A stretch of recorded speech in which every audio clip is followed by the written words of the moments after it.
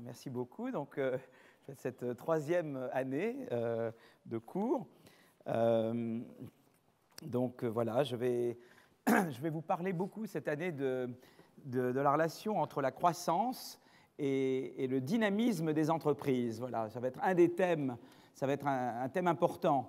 Euh, voilà, que, quelle est la contribution des, jeunes pousses, des startups, de la croissance des entreprises? Comment ça, contribue au processus de croissance dans son ensemble? Voilà, donc euh, ça, ça va prendre une partie du cours. Je parlerai de mesure de la croissance. Est-ce que la croissance est bien ou mal mesurée? Euh, je, parlerai, je parlerai également d'intelligence artificielle.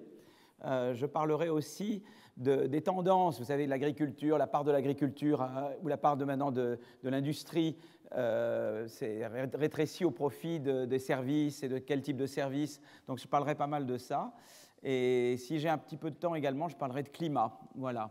En gros, c'est un peu les thèmes que je, que je, voilà, que je, pense poursuivre. Bon, ça dépend un peu quel rythme on va. Puis voilà, donc en tout cas, voilà, ben je, commence. Je vais enlever ma, veste, un peu chaud. Voilà. Très bien. Prendre mon crayon.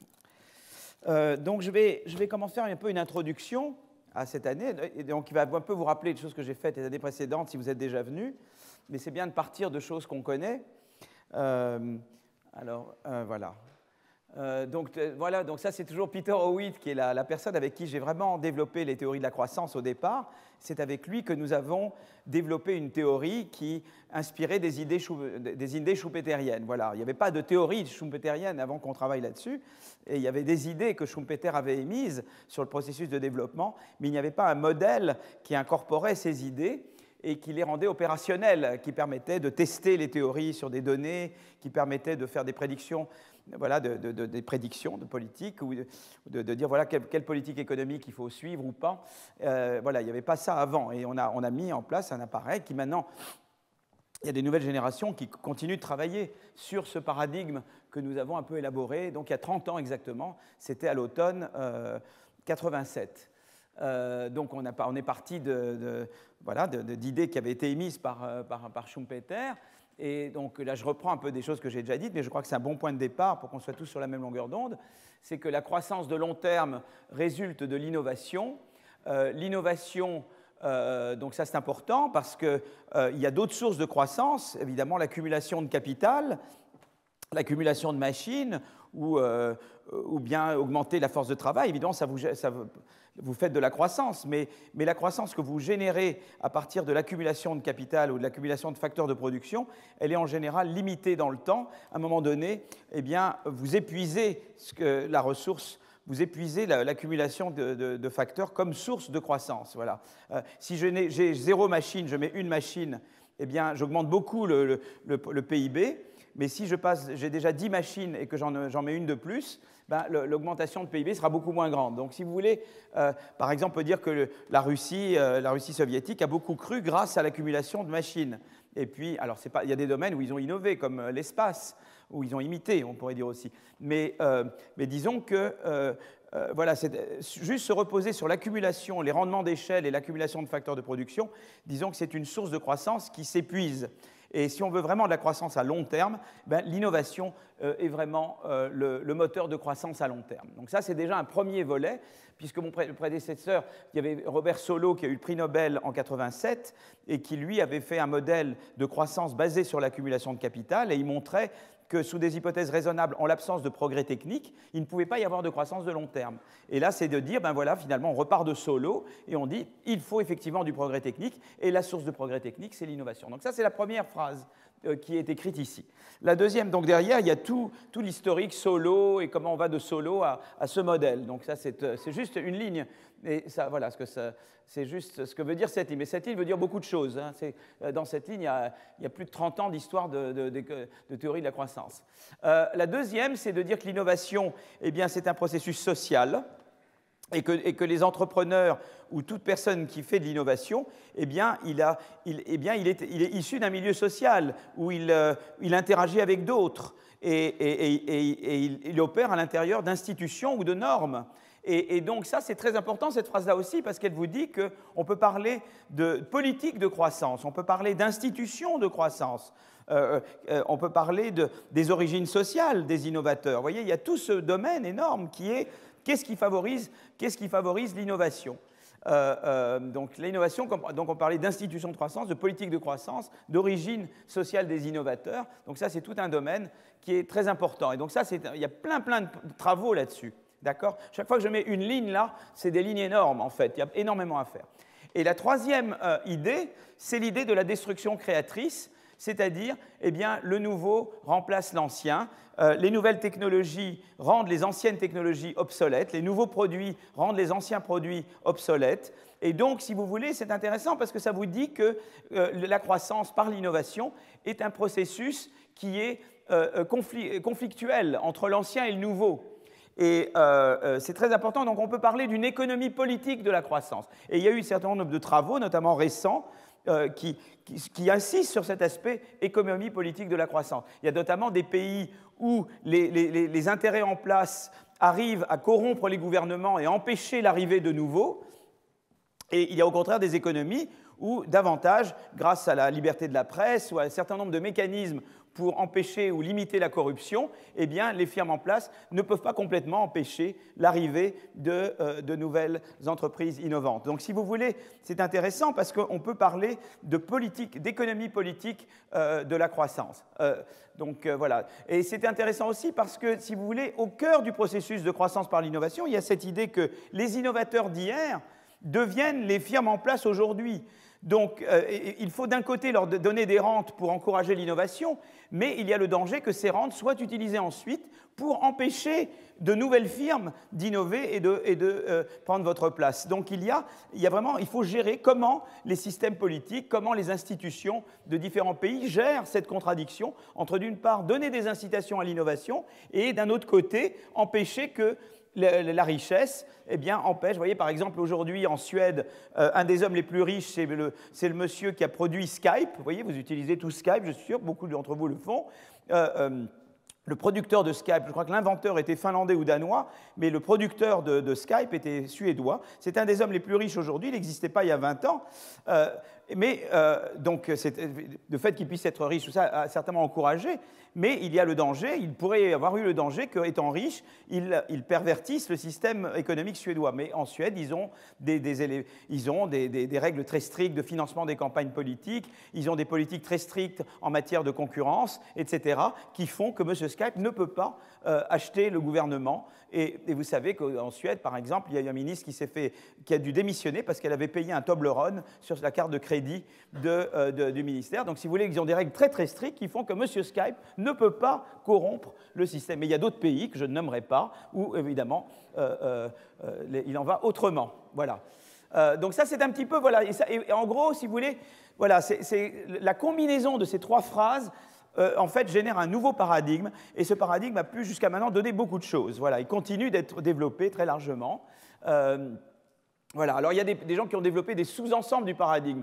Ils ont regardé ça, mais ils n'ont pas mis la destruction créatrice, ou ils ont mis certains éléments et pas d'autres. Or, je pense que les trois éléments euh, sont indissociablement liés, et que tout modèle qui n'aurait qu'une sous-partie ne serait pas un bon modèle de croissance. Je ne nomme personne ici, Euh, euh, alors voilà quelqu'un qui est, par exemple, qui, qui, est de la jeune génération, mais il y en a d'autres. Il y a des séries, plusieurs économistes qui sont très talentueux et qui travaillent euh, sur les développements les plus récents de l'approche la, schumpeterienne. Par exemple, ce collègue, Ufuk Aksigit, qui qui est, professeur à Chicago, il vient d'avoir sa titularisation.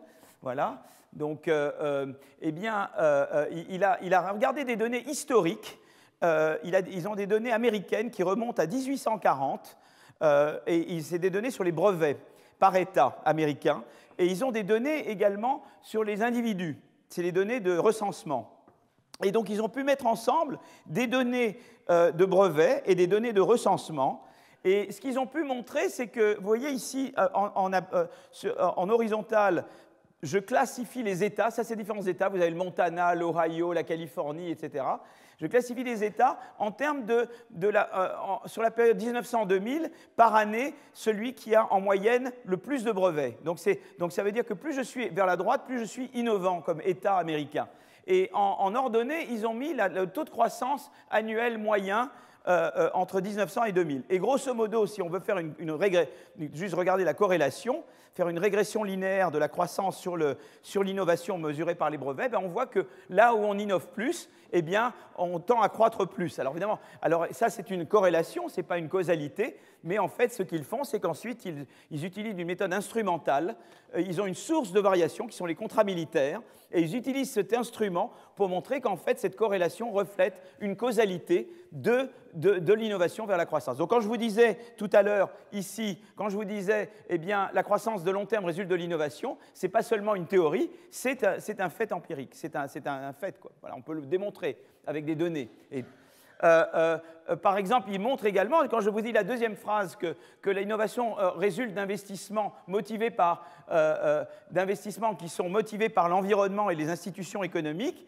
eh bien, par exemple, là, euh, il montre que dans les États américains où il y a plus de développement financier, et il mesure le développement financier par le, volume de dépôts bancaires par tête en moyenne dans l'État, eh bien, on tend à avoir une corrélation positive très significative entre le développement financier et l'innovation. Donc vous voyez, la, finance, euh, il y a la bonne et la mauvaise finance, mais on ne peut pas être ennemi de la finance. Si on est ennemi de la finance, point barre, on est ennemi de l'innovation. Voilà. Donc ça, c'est ah non, il, faut toujours, il c'est comme, c'est comme les, voitures, il, y a des, il, faut mettre, il, faut mettre des feux rouges, il faut mettre un code de la route, euh, tout ne doit pas être permis.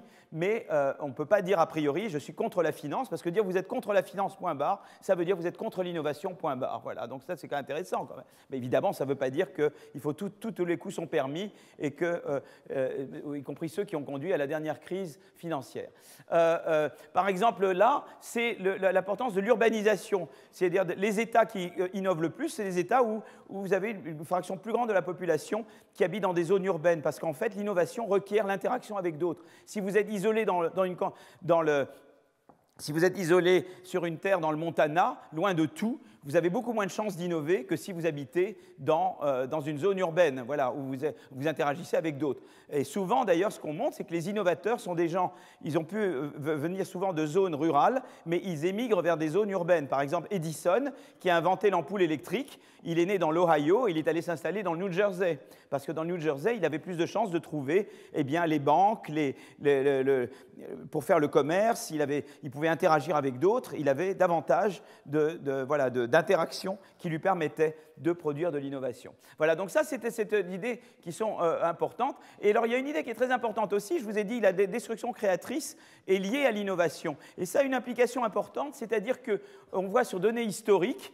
ça, c'est euh, euh, eh bien que si vous voulez, les endroits aux États-Unis où il y a le plus de, brevets sont les endroits où vous avez tendance à avoir plus de mobilité sociale, où vous mesurez la mobilité sociale par le fait que votre revenu ne dépend pas trop du revenu de vos parents. Voyez, ou bien par la probabilité que, vous atteigniez les niveaux de revenus supérieurs si vos parents viennent des, des niveaux de revenus inférieurs.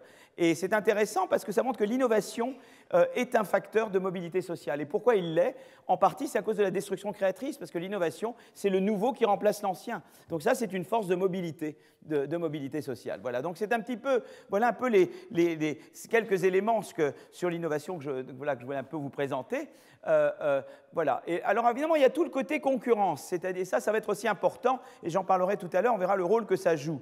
on pourrait croire à première vue que la concurrence est mauvaise pour la croissance, parce que davantage de concurrence, ça veut dire qu'on réduit vos rentes à l'innovation, et donc on vous décourage d'innover. Mais ça, c'est pas, c'est beaucoup plus que En fait, ça marche pas comme ça. Si on regarde dans la réalité, on voit plutôt que la corrélation est positive. La concurrence favorise l'innovation. Donc, quel est l'effet qui va contre l'effet que je viens de donner? Et l'effet qui va contre l'effet que je viens de donner, c'est la chose suivante. C'est l'effet, ce que j'appelle en anglais escape competition. C'est-à-dire, j'innove pour échapper à la concurrence avec mes voisins.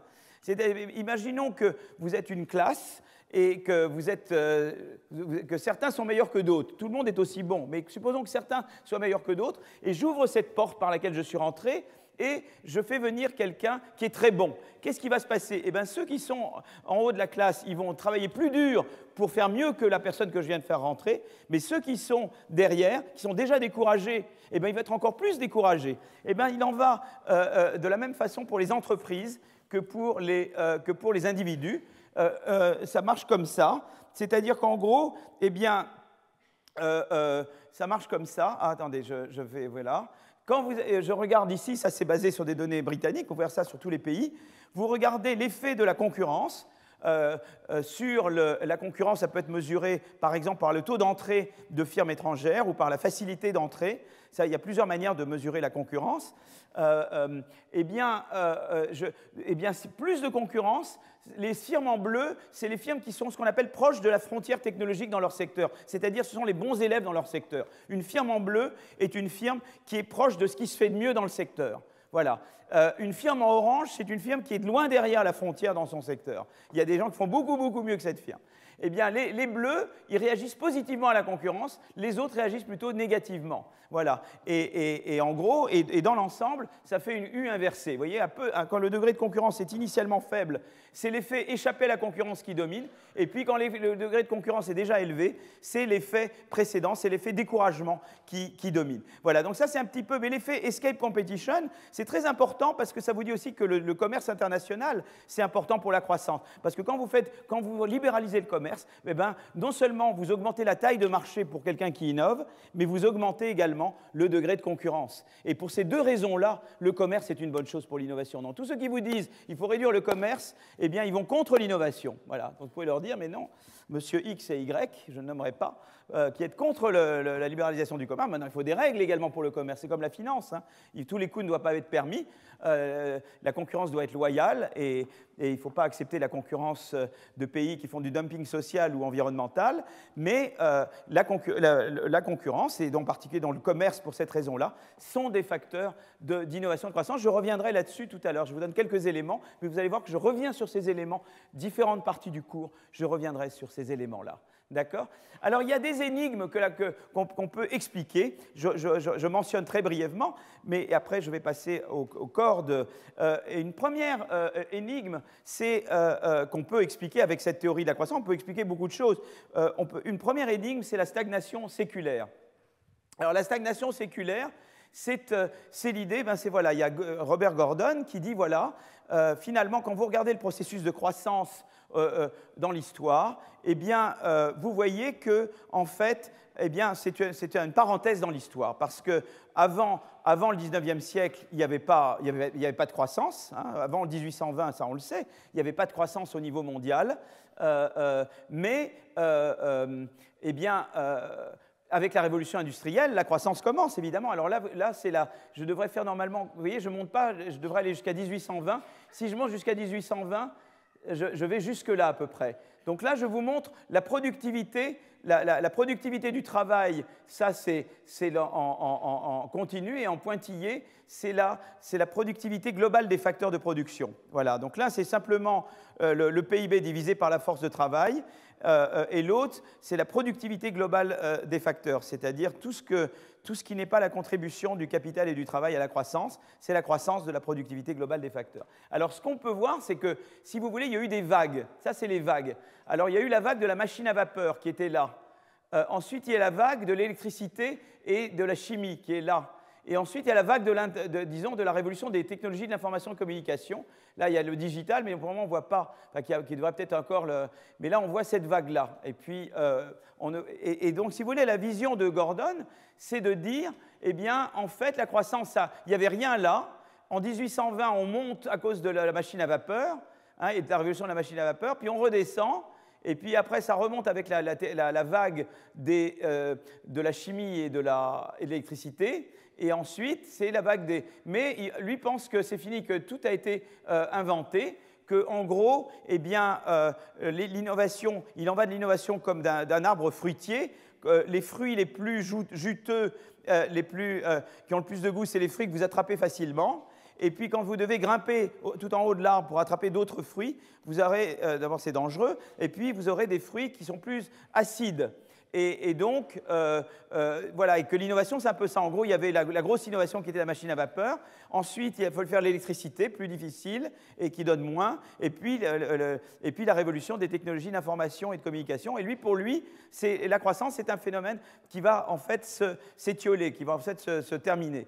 Voilà. Donc, c'est une vision très pessimiste que moi, je ne partage pas pour beaucoup de raisons. Avec ce qu'on a discuté tout à l'heure. D'abord, je pense que la révolution des technologies de l'information et de la communication n'ont pas seulement changé la façon de produire des biens et services, mais ça a également changé la façon de produire des idées. Et, à plus forte raison, ce qu'on appelle l'intelligence artificielle. L'intelligence artificielle, ça conduit pas seulement à automatiser euh, et à augmenter la productivité dans la production de biens et services, mais également dans la production d'idées. Maintenant, par exemple, avec Skype et, Dropbox et tout ça, je peux interagir avec d'autres chercheurs qui sont loin de moi et j'interagis avec eux et, je, et, on peut produire plein de choses qu'on n'aurait jamais pu faire avant. Donc la technologie de production des nouvelles idées euh, euh, n'a jamais été aussi bonne que grâce à la révolution des technologies de l'information et de communication. Et ça, évidemment, ça va avoir des répercussions sur la production de biens et services. Donc ça, Gordon, il manque cet aspect-là. Euh, c'est le premier aspect. Le deuxième aspect, c'est qu'avec la mondialisation, les rentes à l'innovation sont beaucoup plus grandes qu'elles n'ont jamais été. Et donc, euh, euh, eh l'incitation à innover n'est jamais aussi grande qu'elle n'a jamais été aussi grande qu'elle l'est maintenant. Et puis, c'est évident qu'on est à l'aube de grandes découvertes sur la santé, sur les, énergies renouvelables. Donc, c'est évident qu'il y aura certainement, euh, simplement, on ne peut pas savoir quand est-ce que ça va remonter. Voyez, on peut pas. Et puis, il y a une autre critique qui est qu'on mesure peut-être pas bien la croissance de la productivité. Ça, je reviendrai là-dessus. Je passerai pas mal de temps, je passerai presque une leçon sur la mesure de la croissance pour vous expliquer qu'on ne sait pas mesurer la croissance de la productivité. Et je montrerai ça pour les États-Unis et pour la France. Vous verrez des choses très intéressantes. En France, je vous le dis déjà d'avance, la, croissance de la productivité est plus du double de ce qu'on mesure. Donc elle est beaucoup plus importante que ce qu'on dit. Voilà, donc ça, c'est des... En tout cas, c'est intéressant d'avoir ces, débats-là. Par exemple, déjà, sans, rentrer dans le... Euh, euh, là, par exemple, je représente ici, euh, en, en abscisse, je regarde des secteurs aux États-Unis et je regarde ici, c'est des secteurs où il y a plus de destruction créatrice, voyez c'est des secteurs où il y a euh, davantage de, nouvelles entreprises qui remplacent d'anciennes entreprises, de, nouveaux emplois qui remplacent d'anciens emplois. Donc ça, plus je vais à droite, plus ça veut dire qu'il y a du dynamisme à l'intérieur du secteur en termes de nouvelles firmes qui remplacent d'anciennes firmes ou de, nouveaux jobs qui remplacent d'anciens jobs. Et puis là, en, en ordonnée, c'est une corrélation entre la croissance mesurée et les brevets. C'est-à-dire, c'est une mesure de à quel point les brevets sont reflétés ou ne sont pas reflétés dans la croissance mesurée. Et ce dont on se rend compte, c'est que dans les secteurs où il y a beaucoup de, destruction créatrice, eh bien, euh, les, brevets, l'innovation est très mal reflétée dans, la croissance mesurée. Alors on expliquera pourquoi, je ne vais pas anticiper, j'expliquerai pourquoi plus tard dans le cours, mais c'est très intéressant que dans les secteurs où il y a beaucoup de destruction créatrice, on mesure très très mal la croissance et on mesure très mal la contribution de l'innovation à la croissance. Donc ça c'est un thème qu'on va revenir, mais comme beaucoup de mon cours va être sur la, destruction créatrice, la création d'emplois, la destruction d'emplois, la création de firmes, la destruction de firmes, et que je vais relier la croissance au dynamisme de l'économie, qui est cette idée de, destruction et de création, eh bien, c'est intéressant de savoir qu'à cause de ce phénomène de destruction de création, eh bien, la croissance, on ne sait pas la mesurer, et donc il faut revoir beaucoup de choses sur la façon dont on mesure la croissance. Et justement, Gordon, c'est quelque chose qui ne me prend pas en compte du tout. Voilà, donc ça, c'est. Euh, par exemple, juste pour vous donner une idée, voyez, euh, euh, sur la période 2006-2013, vous voyez qu'en France, la croissance qu'on ne mesure pas est plus importante que celle qu'on mesure. Ça, c'est, je parle de croissance de la productivité, hein, la croissance du PIB par tête. Et, vous voyez qu'en France, celle qu'on mesure, c'est 0,4. Alors évidemment, il y a la croissance qui est due à l'accumulation des facteurs, mais la croissance due à la productivité, c'est ça en moyenne. Et elle est, vous voyez qu'elle est beaucoup plus importante que ce qu'on mesure. Et aux États-Unis, pareil. Euh, en fait, euh, voilà, on est bien au-dessus de ce qui est mesuré. Voilà, donc euh, quand, on parle de stagnation séculaire, aux États-Unis, ils sont bien, ils sont certainement à des taux de croissance beaucoup plus élevés que ce qu'on peut qualifier de stagnation. Voilà, donc c'est quand même intéressant, mais on reviendra là-dessus en détail. Je vous donne juste comme ça des éléments, et simplement vous voyez que c'est un lien déjà. Je mets des petites graines, et vous voyez bien qu'une des petites graines, c'est voilà, c'est le lien avec la destruction créatrice. J'expliquerai pourquoi la destruction créatrice rend plus difficile la mesure de la croissance et pourquoi à ce moment-là, et pourquoi c'est quelque chose que Gordon ne prend pas en compte? dit Gordon euh, suit ça avec beaucoup de sympathie, et Gordon a toujours été un soutien pour ce qu'on a fait, comme Solo avait été un soutien. D'ailleurs, c'est très intéressant, parce que Solo et Gordon ne se conduisent pas comme des, comme des incumbents, comme des firmes en place. Solo a toujours été un grand soutien de ce qu'on a fait sur l'économie schumpeterienne, et Gordon, pour jusqu'à maintenant, a beaucoup soutenu ce qu'on fait sur les problèmes de mesure. Donc euh, voilà, mais il y a d'autres personnes qui ne se conduisent pas de cette manière-là dans la profession. Alors, il y a la dynamique des entreprises elles-mêmes. Euh, je voulais un petit peu en parler, dire quelques mots sur la, dynamique des entreprises. Et, euh, donc, euh, et, donc, voilà. Donc, je, je, voulais juste parler de quelques faits empiriques. J'ai peur d'aller trop vite. Est-ce que je vais trop vite? Bon, vous me dites, hein, parce qu'en fait, j'ai l'impression que je vais plus vite que ce que j'ai prévu. J'ai peur de terminer trop tôt. C'est embêtant. Voilà. Ben, si, je termine trop tôt, je ferai d'autres choses. Euh, voilà, je parlerai d'autres choses. Je préparerai. J'ai toujours des choses. Vous savez, j'ai ma petite clé USB et dans ma petite, elle me sauve ma clé USB. Quand, quand j'ai du temps, je peux passer davantage de temps sur les choses comme ça.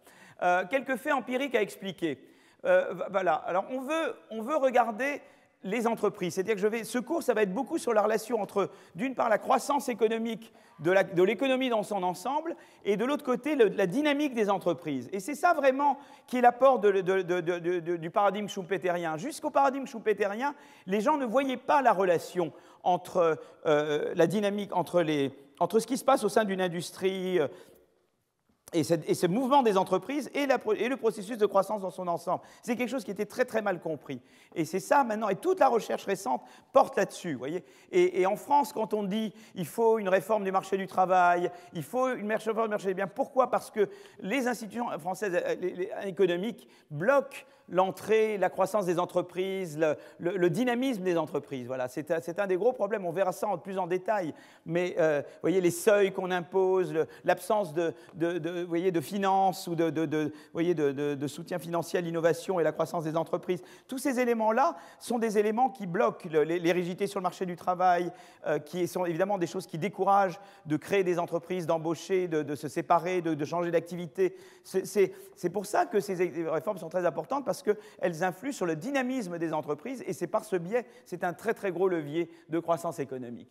Euh, alors il y a quelques faits que je voudrais expliquer et voilà, voilà ce qu'ils sont. Le premier fait, c'est que la distribution par taille des entreprises est fortement biaisée en faveur des petites entreprises. Qu'est-ce que je veux dire par là? Je veux dire ça. C'est qu'en gros, si je représente en abscisse euh, une mesure de la taille des entreprises, je, dirais, il y a plusieurs façons de mesurer la taille et, on, y reviendra. Et, si je mesure en ordonnée la fraction des entreprises qui ont les différentes tailles, vous, verrez que vous avez, et ça c'est vrai partout, euh, vous avez beaucoup de petites petites et vous avez très très peu de très grandes. Voilà, ça c'est une chose, une régularité. C'est vrai en France, c'est vrai partout. Alors là où la France et les États-Unis peuvent différer, c'est que peut-être les moyennes, il y en a plus dans l'un que dans l'autre. En France, il y aura beaucoup. En France, il tend à y avoir beaucoup de petits, mais ils ne croissent pas beaucoup, donc vous avez très peu de moyennes. En France, voyez, en France, ça serait plutôt comme ça, vous voyez Hop, comme ça, voyez Et aux États-Unis, c'est plus comme ça. Mais on va revenir sur la différence entre les États-Unis et la France. Euh, donc ça, c'est un premier fait. C'est intéressant, c'est pourquoi il y a beaucoup de petits et très peu de gros. c'est un une première chose. Euh, euh, une, deuxième, un deuxième aspect, c'est qu'une entreprise grandit quand elle augmente sa gamme de produits. C'est-à-dire qu'on peut mesurer la taille d'une entreprise on peut mesurer la taille d'une entreprise. Euh, euh, pardon, je suis désolé. La deuxième chose, voilà, là je dis des bêtises. Le taux de sortie des petites entreprises est beaucoup plus grand que le taux de sortie des grandes entreprises. C'est-à-dire, si on regarde euh, au sein de, vous voyez, par exemple, des entreprises de moins de 20 employés, eh ben, le taux d'échec et de sortie est très élevé. Si vous, si vous vous limitez aux entreprises qui ont plus de 1000 employés, j'en sais pas, le taux de sortie est faible. D'accord? Donc ça, c'est quelque chose aussi qu'on veut comprendre. Pourquoi? Le taux de sortie des firmes est très grand pour les petits et, faible pour les gros Donc on va essayer d'expliquer ça. D'accord? Et puis, il y a une troisième idée, c'est qu'en général, euh, euh, euh, l'âge et la taille sont corrélés. Et c'est-à-dire que plus une firme, en général, avec des, en, moyenne, disons que les, firmes plus âgées qui restent sur le marché ont tendance à être plus grandes. Euh, les firmes qui sont plus jeunes ont tendance à être plus petites. D'accord? Donc ça, c'est important. Euh, alors, plus petit, plus grand, je dis que je mesure ça comment? Ben, Une des manières de mesurer la taille d'une entreprise, c'est par l'emploi, le volume de l'emploi. Mais il y a une autre, mesure, une autre façon de mesurer la taille des entreprises, c'est par le nombre de produits qu'elle fait. Vous voyez, le nombre de, ou par le nombre de, voyez, d'établissements, par exemple, dans la firme. Vous voyez, de, eh bien, en général, une firme euh, il y, a une corrélation positive. Plus d'emplois, ça veut dire aussi plus de produits et plus d'établissements. Quand une, une firme grandit, quand elle grandit, elle, augmente l'emploi au sein d'elle-même, mais elle augmente aussi le nombre de produits qu'elle fabrique et le nombre, euh, euh, et le nombre d'établissements dans lesquels elle fabrique. Donc ça, c'est intéressant, c'est une chose à garder en tête, on reviendra là-dessus. D'accord? Et donc, il y a une corrélation entre la taille et, la taille et l'âge. Taille mesurée de toutes les manières que je vous ai dites. Donc ça, c'est des faits qu'on veut essayer de comprendre. Et, justement, c'est intéressant parce que c'est très récemment, c'est dans les 10-15 dernières années, qu'il y a eu que la, théorie schumpeterienne s'est développée pour, euh, pour montrer comment elle peut rendre compte de ces faits empiriques. Donc ça, c'est des faits empiriques. Et elle peut. Alors comment on le fait? Eh bien, la vision était la chose suivante, c'est de dire, voilà, une entreprise, c'est une collection de lignes de produits. Vous êtes une entreprise, eh bien, vous pouvez avoir ou une ligne de produits ou plusieurs lignes de produits. D'accord? Euh, une entreprise grandit si elle augmente sa gamme de produits, si le nombre de produits qu'elle fabrique. À ce moment-là, c'est une augmentation de la taille de l'entreprise. Une entreprise se rétrécit si elle se met à fabriquer moins de produits.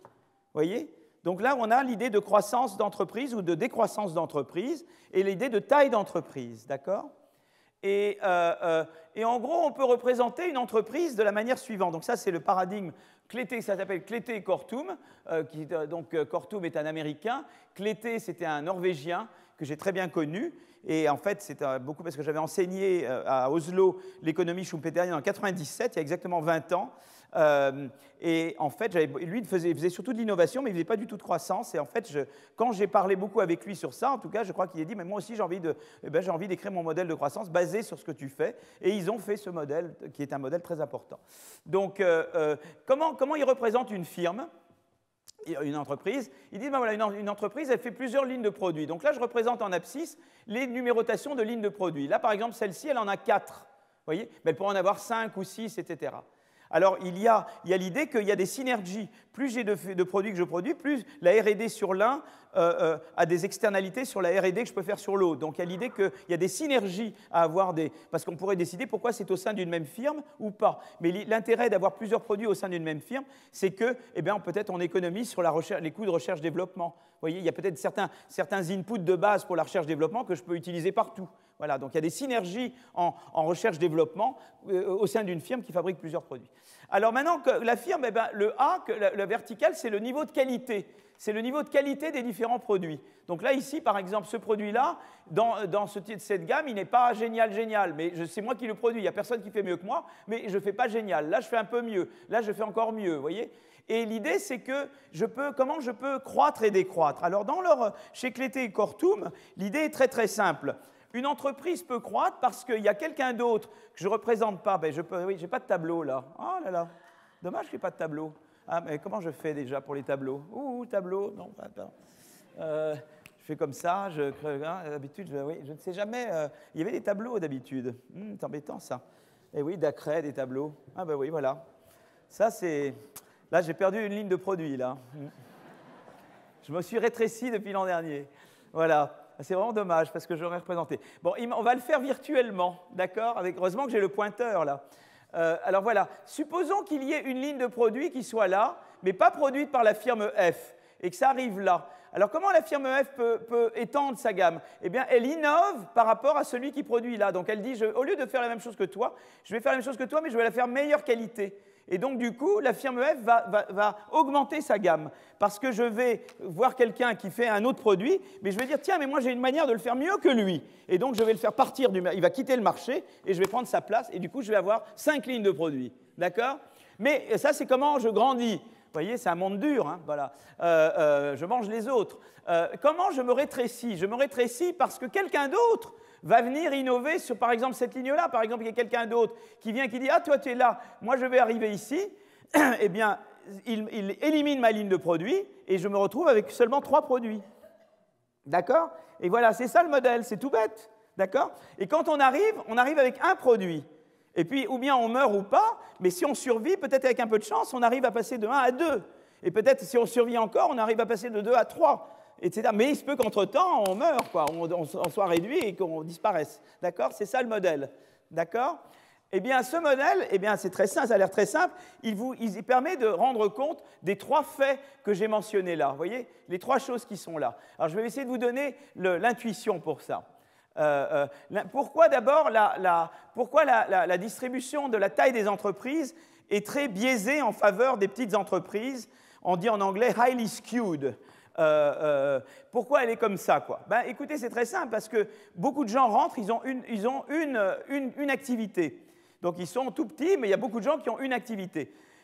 Pour arriver à deux, il faut avoir survécu au-delà de un et, et, avoir trouvé une autre. Donc il faut d'abord ne pas avoir été remplacé Et puis, il faut deux événements heureux. Un, vous n'êtes pas remplacé, et deux, vous arrivez à, remplacer quelqu'un d'autre pour pouvoir vous étendre.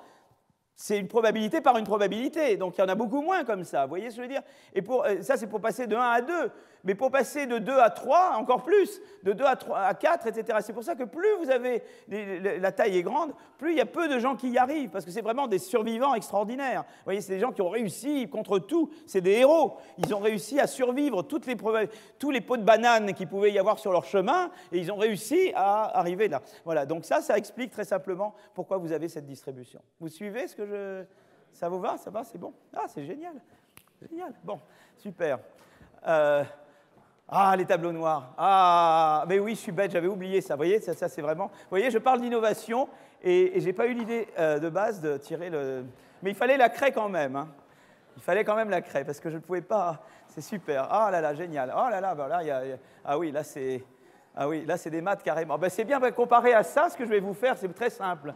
C'est très bien. Laissez les maths là, parce que vous voyez, comme, comme, ça, ils voient à quel point ils auraient pu souffrir. Et comme ça, avec moi, ils vont dire Ah, c'est génial il y a des histoires de rabbins comme ça, mais je ne vais pas vous les raconter ici. Bon, voilà.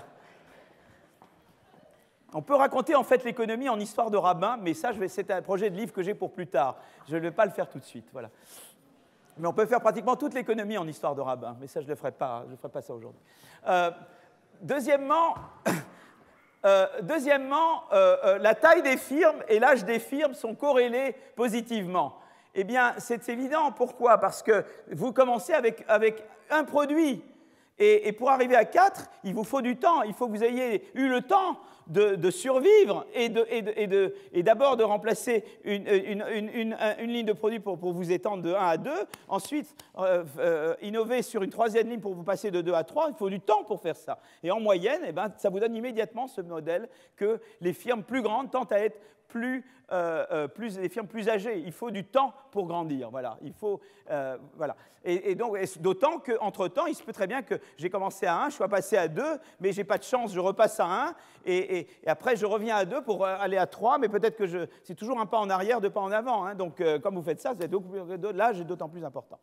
Euh, euh, donc ça, ça vous donne très, très vite l'idée que l'âge et la taille. Et alors pourquoi les petites firmes euh, sortent beaucoup plus que les grandes? Mais C'est très simple avec ce paradigme. si vous êtes une firme avec un produit, il suffit que vous ayez été remplacé sur ce produit pour sortir. Si vous en avez deux, il faut d'abord qu'on vous remplace sur le premier et ensuite qu'on vous remplace sur le deuxième. Et vous comprenez tout, de suite pourquoi c'est beaucoup plus facile de disparaître quand on est un produit que quand on est plusieurs produits. Parce qu'on est plusieurs produits, bah, il faut plusieurs fois que vous ayez de la malchance. Il suffit d'un coup de malchance et c'est terminé. Voilà, et donc c'est un modèle très très simple qui vous donne tout de suite, qui vous eh ben, donne tout de suite le, euh, et la croissance est générée par le fait évidemment chaque fois que vous remplacez quelqu'un d'autre, vous faites mieux que lui, ou chaque fois que quelqu'un vous remplace, il fait mieux que vous. Et c'est pour ça qu'il y a euh, euh, donc il y a toujours l'idée que ce, mouvement d'entrée, de sortie et de croissance est à chaque fois lié à une amélioration de productivité. Vous comprenez?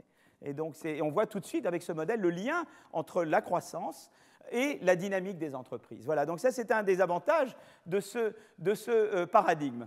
Alors juste pour terminer sur cette partie, euh, euh, je veux juste vous montrer, si vous voulez, là je veux regarder le, lien entre l'âge et la taille des entreprises. Vous voyez, pour les, US, vous voyez, là on voit vraiment la, relation entre âge et taille des entreprises. Vous voyez, s'il y a vraiment plus hongrois. le Mexique, on s'arrête là, l'Inde, on s'arrête très vite. La France, c'est comme pratiquement le Mexique, vous voyez. Mais mais grâce aux réformes qui vont être faites maintenant, je plaisante, on va passer de là à là, évidemment. Je, plaisante, hein, évidemment. Bon, euh, euh, donc, euh, alors pourquoi, pourquoi, qu'est-ce qui, on va revenir là-dessus beaucoup. Mais déjà, et je reviens, alors en général, je procède par spirale, c'est-à-dire que je ne vais jamais comme ça, je fais toujours comme ça. Mon, mon espoir, c'est que vous ne percevez pas mes spirales comme des cercles. Voyez, je reviens toujours au même point. normalement, je suis censé revenir, mais pas avec un peu mieux qu'avant. C'est à vous de me dire si mes spirales sont des cercles ou des spirales.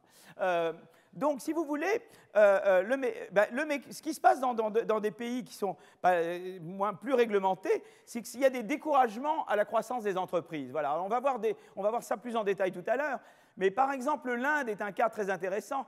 Peut-être qu'il y a des gens, plusieurs comme vous, qui viennent de l'Inde, ils vont dire, mais ce type, il ne connaît rien du tout à l'Inde, donc je, me soumets totalement à la critique.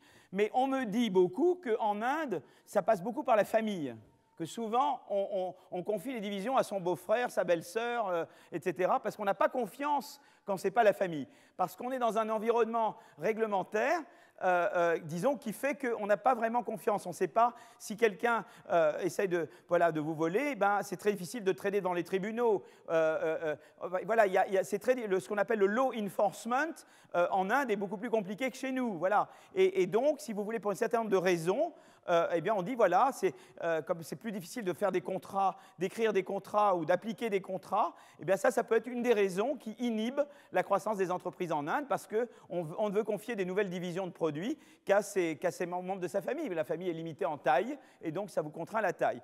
Bon, d'autres explications peuvent être que euh, également il faut de l'argent et que l'argent est plus difficile à avoir, emprunter est plus difficile. Euh, une autre raison peut être qu'il faut du capital humain et que c'est plus difficile de trouver du capital humain. Et, donc, euh, voilà. Donc, il y a, il y un certain nombre d'explications potentielles qui ont été développées ou qui sont en train d'être développées, qui, essayent d'expliquer cette différence entre l'Inde et, les États-Unis. Le Mexique, c'est un petit peu mieux qu'en Inde, mais vous voyez quand même que ça s'arrête à un moment donné, à cause des États-Unis, ça continue. Et nous, on est vraiment comme le Mexique. Quoi. Donc, c'est intéressant.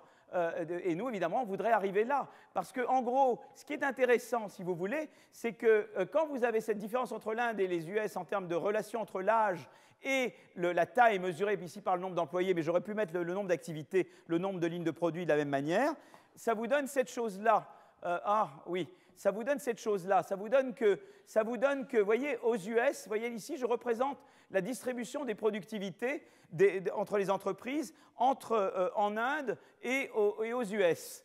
Et vous voyez qu'aux US, euh, euh, en fait, les, firmes de très petite productivité, il y en a très peu. En fait, elles ne survivent pas du tout. En fait, ce qui se passe US, c'est quand votre productivité est mauvaise, vous, disparaissez tout de suite. On ne peut pas vous voir, à l'œil nu, on ne peut pas vous voir, vous disparaissez. Voilà.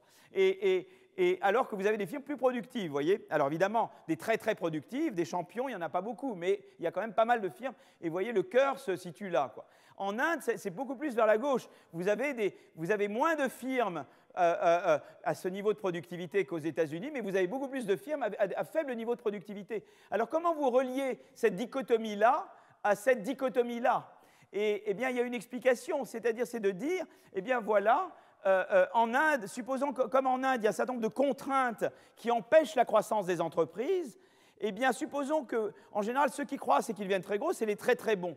Mais les très très bons en Inde, ils ne peuvent pas euh, croître. Donc ça veut dire que quand vous êtes très bon en Inde, vous ne pouvez pas bouffer tous les autres. Vous êtes limité dans votre croissance. Ce qui fait que ça permet à beaucoup de gens moins efficaces de rester puisque vous, n'avez pas la possibilité de les, avaler. Vous voyez, dans le, truc que j'avais dit que l'était Cortum, idéalement, le très bon, eh bien, il, continue d'augmenter, d'augmenter, d'augmenter, au détriment de ceux qui sont moins bons. Mais là, comme vous avez des contraintes à la croissance de l'entreprise, une fois que vous avez épuisé vos belles-sœurs et vos beaux-frères, eh bien, vous pouvez être un champion en Inde, vous ne pouvez pas continuer de croître. Donc, si vous voulez, ça permet à des gens moins efficaces de rester parce que vous, vous ne pouvez pas. Et donc, c'est très intéressant, c'est qu'en fait, il y a un lien entre cette dichotomie-là et, cette dichotomie-là. Et, ça, ça a une implication que, grosso, au, total, l'économie américaine est beaucoup plus innovante, beaucoup plus performante à l'innovation que l'économie indienne. Vous voyez ce que je veux dire? Et qu'une des manières de rendre l'économie indienne plus importante, ça serait de, faire des, un de choses qui permettent que eh bien, les, très bons puissent croître, euh, voyez, et que, la, distribution de productivité se déplace de cette manière-là. Donc on peut revoir les réformes, un certain nombre de réformes qui peuvent être faites. D'ailleurs, en partie, l'Inde a fait des réformes. Ils ont libéralisé, euh, euh, par exemple, la création de nouvelles entreprises. Il y avait ce fameux license rage qui, était, vraiment des coûts administratifs épouvantables pour créer des nouvelles entreprises. Ça a été éliminé. ils existent, license rage.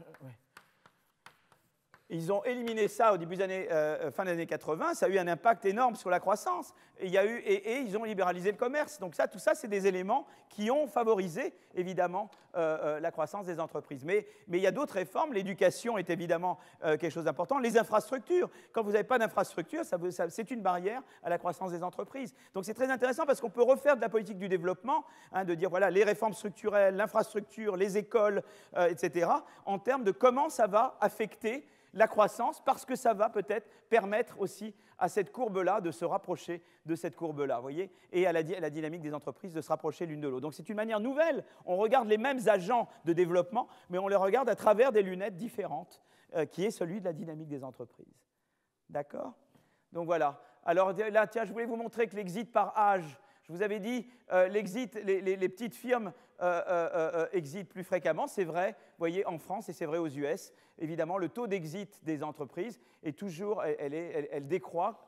quand pour les entreprises plus grandes, elle est plus, elle est plus. Et c'est vrai, là, je l'ai fait pour les États-Unis et, la France, mais on peut le faire pour tous les pays que vous voulez. Quoi. C'est toujours ça, c'est une régularité. Voilà, donc ça, c'est la première partie de mon, de mon cours, qui en a trois. C'est miraculeux, j'arrive à plus ou moins quand même dans les temps. Hein. Voilà. Est-ce que, vous avez est-ce que vous êtes encore en vie?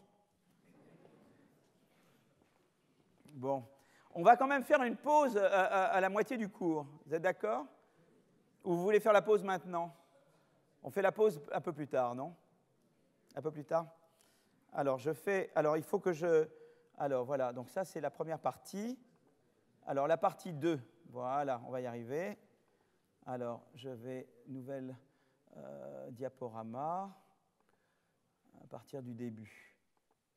Alors, dans cette partie-là, j'aimerais un petit peu me pencher sur. Donc, j'ai parlé un petit peu de croissance, dynamique des entreprises, et je vous ai déjà dit des choses sur la relation entre croissance et dynamique des entreprises.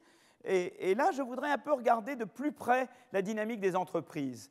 Et, je, vais regarder, je vais zoomer un peu sur la dynamique des entreprises. Et là, je m'interroge sur la première question. Donc, il y a un nom très important, euh, euh, un économiste qui a joué un rôle très important pour essayer de comprendre euh, euh, comment la taille des entreprises se relie à la performance des entreprises, c'est euh, M. Altiwanger, John Altiwanger.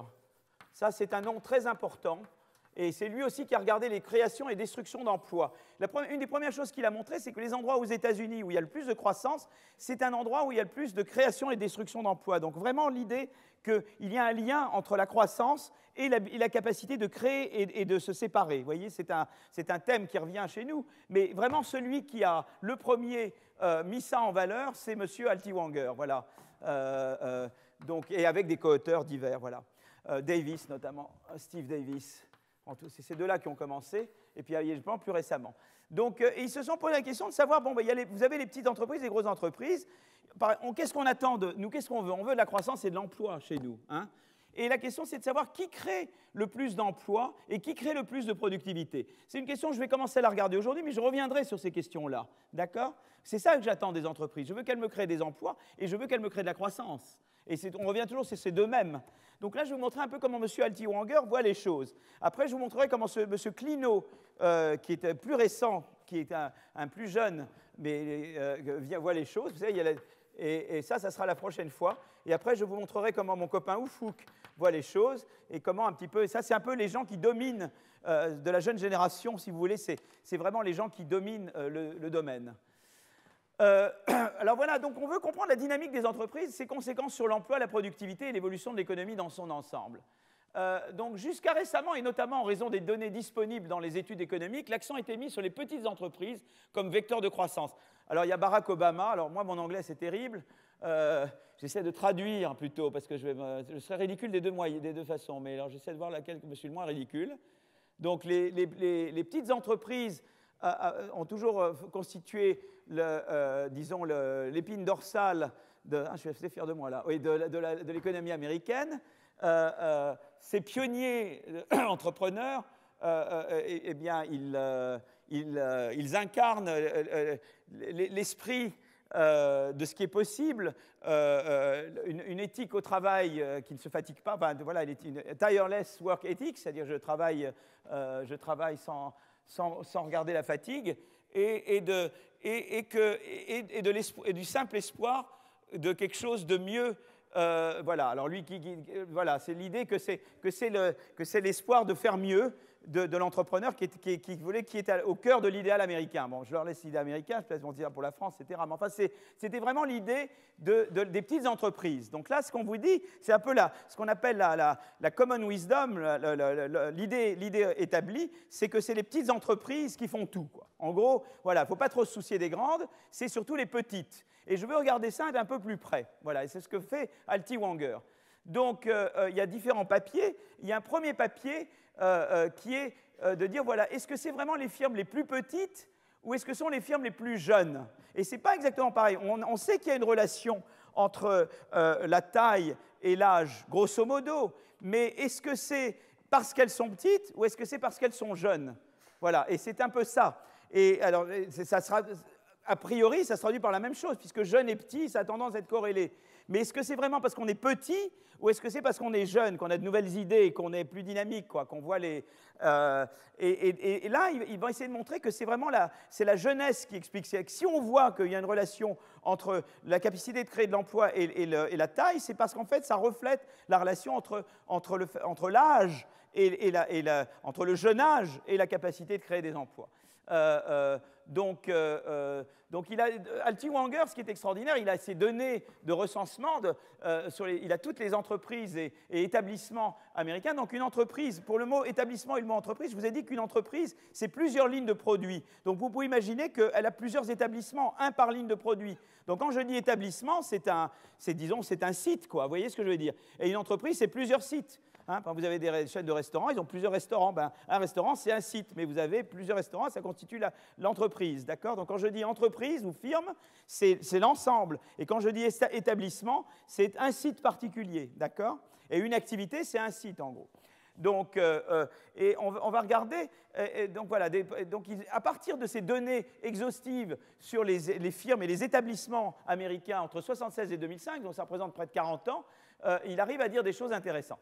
Donc d'abord, ce qui est très intéressant, c'est que les startups, en 2005, mais c'est vrai pour d'autres années, il a regardé 2005 en particulier, est à l'origine de, 142% des créations nettes d'emplois aux États-Unis. Alors pourquoi je vais au-dessus de 100% Parce qu'il y, a des créations et destructions d'emplois. Mais euh, les créations nettes, euh, il y a d'autres qui, sont des nets destructeurs d'emplois. Donc c'est pour ça que quelqu'un peut arriver au-dessus de 100, hein, parce qu'il y a des nets destructeurs d'emplois. Mais vous voyez que les entreprises euh, euh, alors, ce qui est intéressant, c'est que d'abord, c'est les, âges. Donc là, c'est l'âge. Euh, là, ce qui est intéressant, c'est que les firmes qui viennent d'arriver, c'est une énorme source de création d'emplois. Donc ça, c'est la première chose que l'on voit, de création nette. Hein.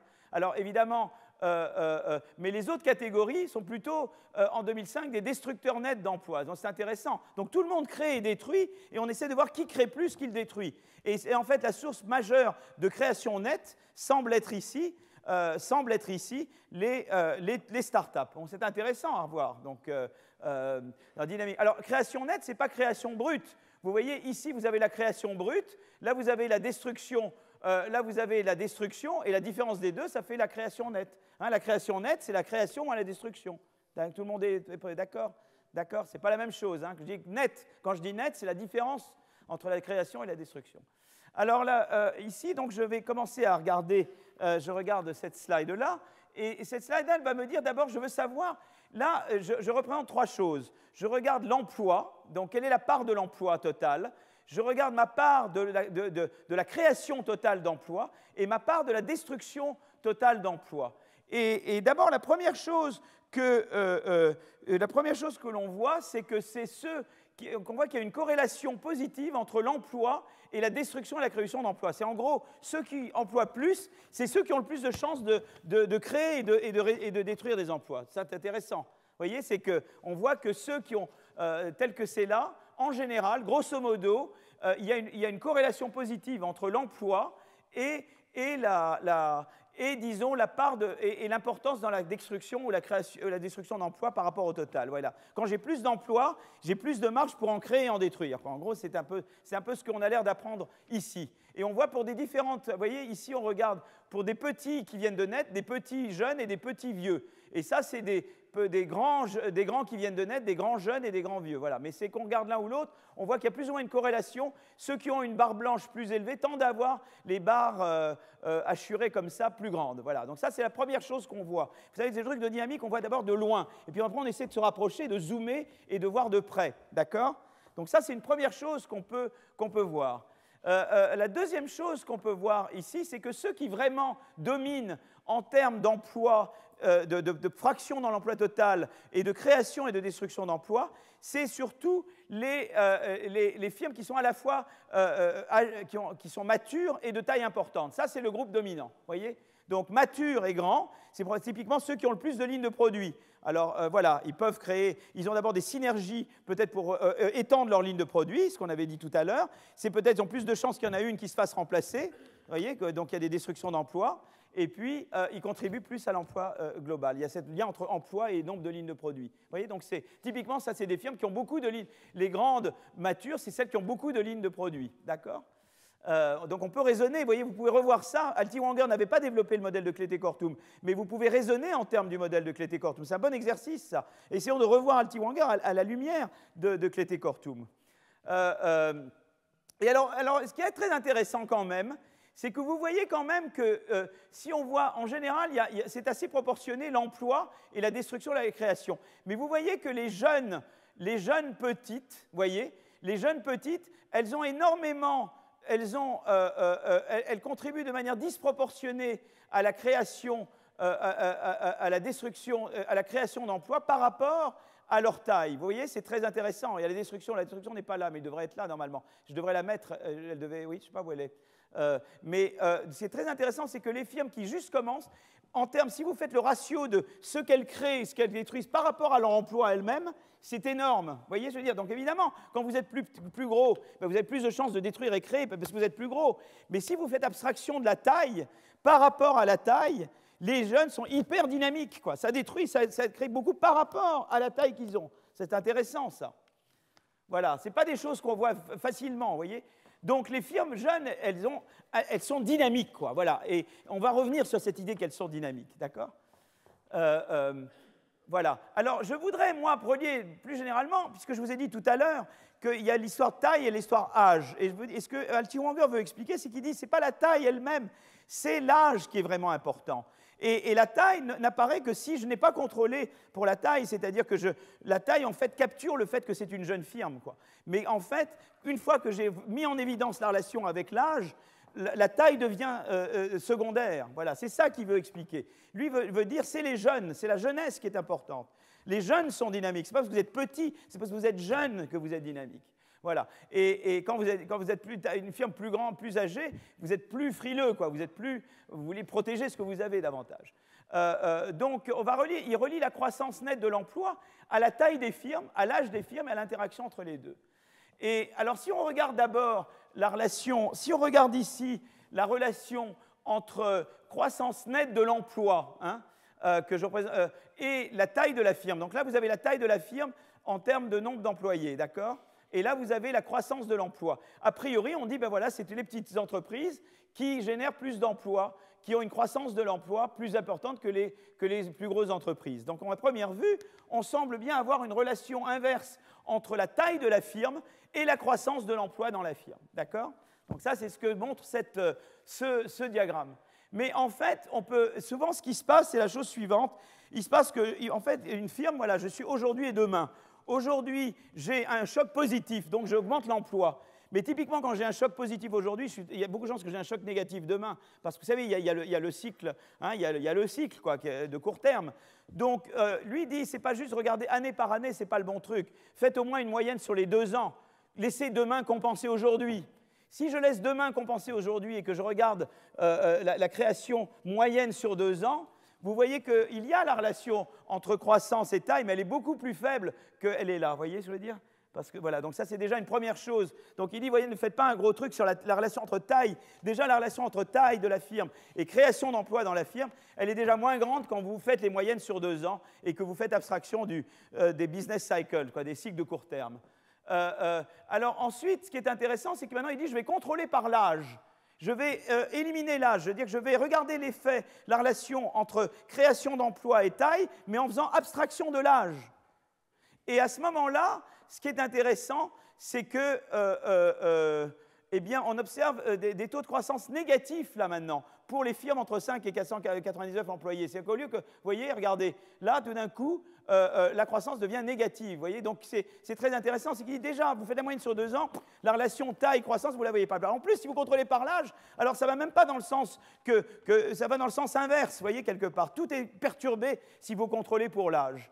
Donc c'est vraiment l'âge qui est important. Et en fait, si vous utilisez, euh, euh, vous contrôlez par l'âge et vous utilisez la moyenne de l'emploi sur deux ans, euh, eh bien, vous obtenez en fait une relation positive entre taille des firmes et, création nette d'emplois. Tout est inversé, vous voyez. Donc la taille ne peut pas être le truc par lui-même. Ce qui compte, c'est l'âge d'abord, d'accord?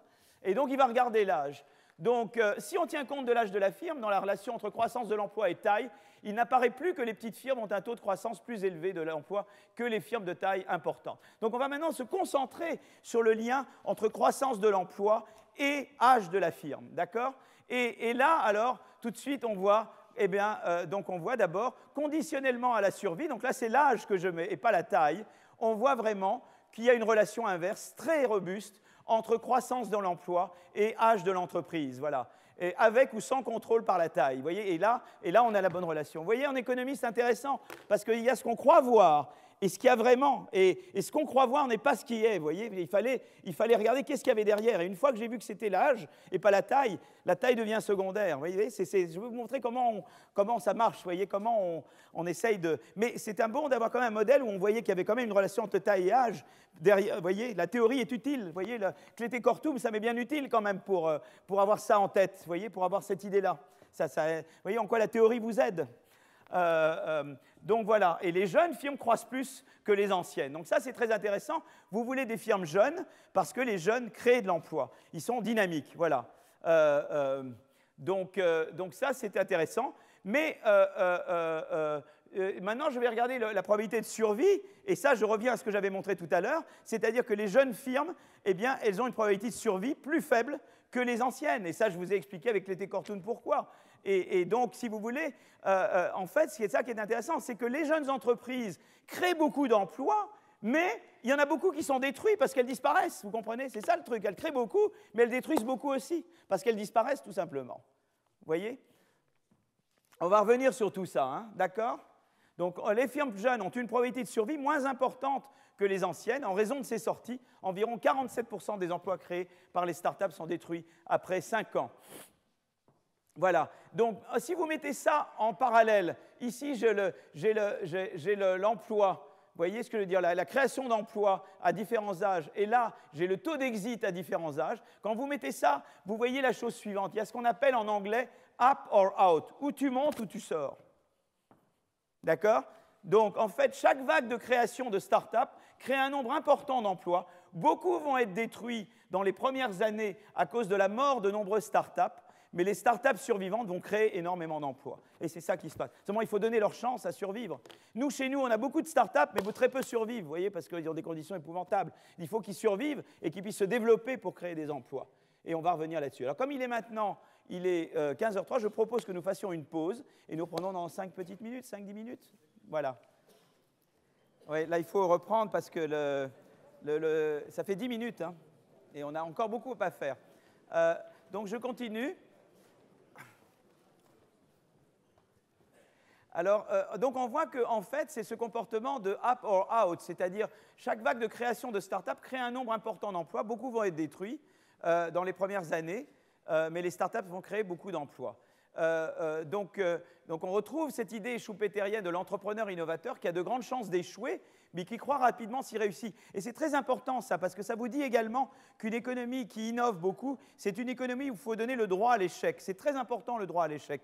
Il faut permettre que si vous ratez une fois, vous pouvez recommencer et recommencer et recommencer. C'est très important d'avoir un système d'incitation, ou un mélange de, de, de, de systèmes financiers et d'incitation qui permettent, qui donnent ce droit à l'échec. C'est très important un pays où vous n'avez pas la deuxième chance, euh, euh, euh, eh bien, vous n'aurez pas, vous, allez grandement réduire les possibilités de création d'emplois et d'augmentation de, la productivité par l'innovation.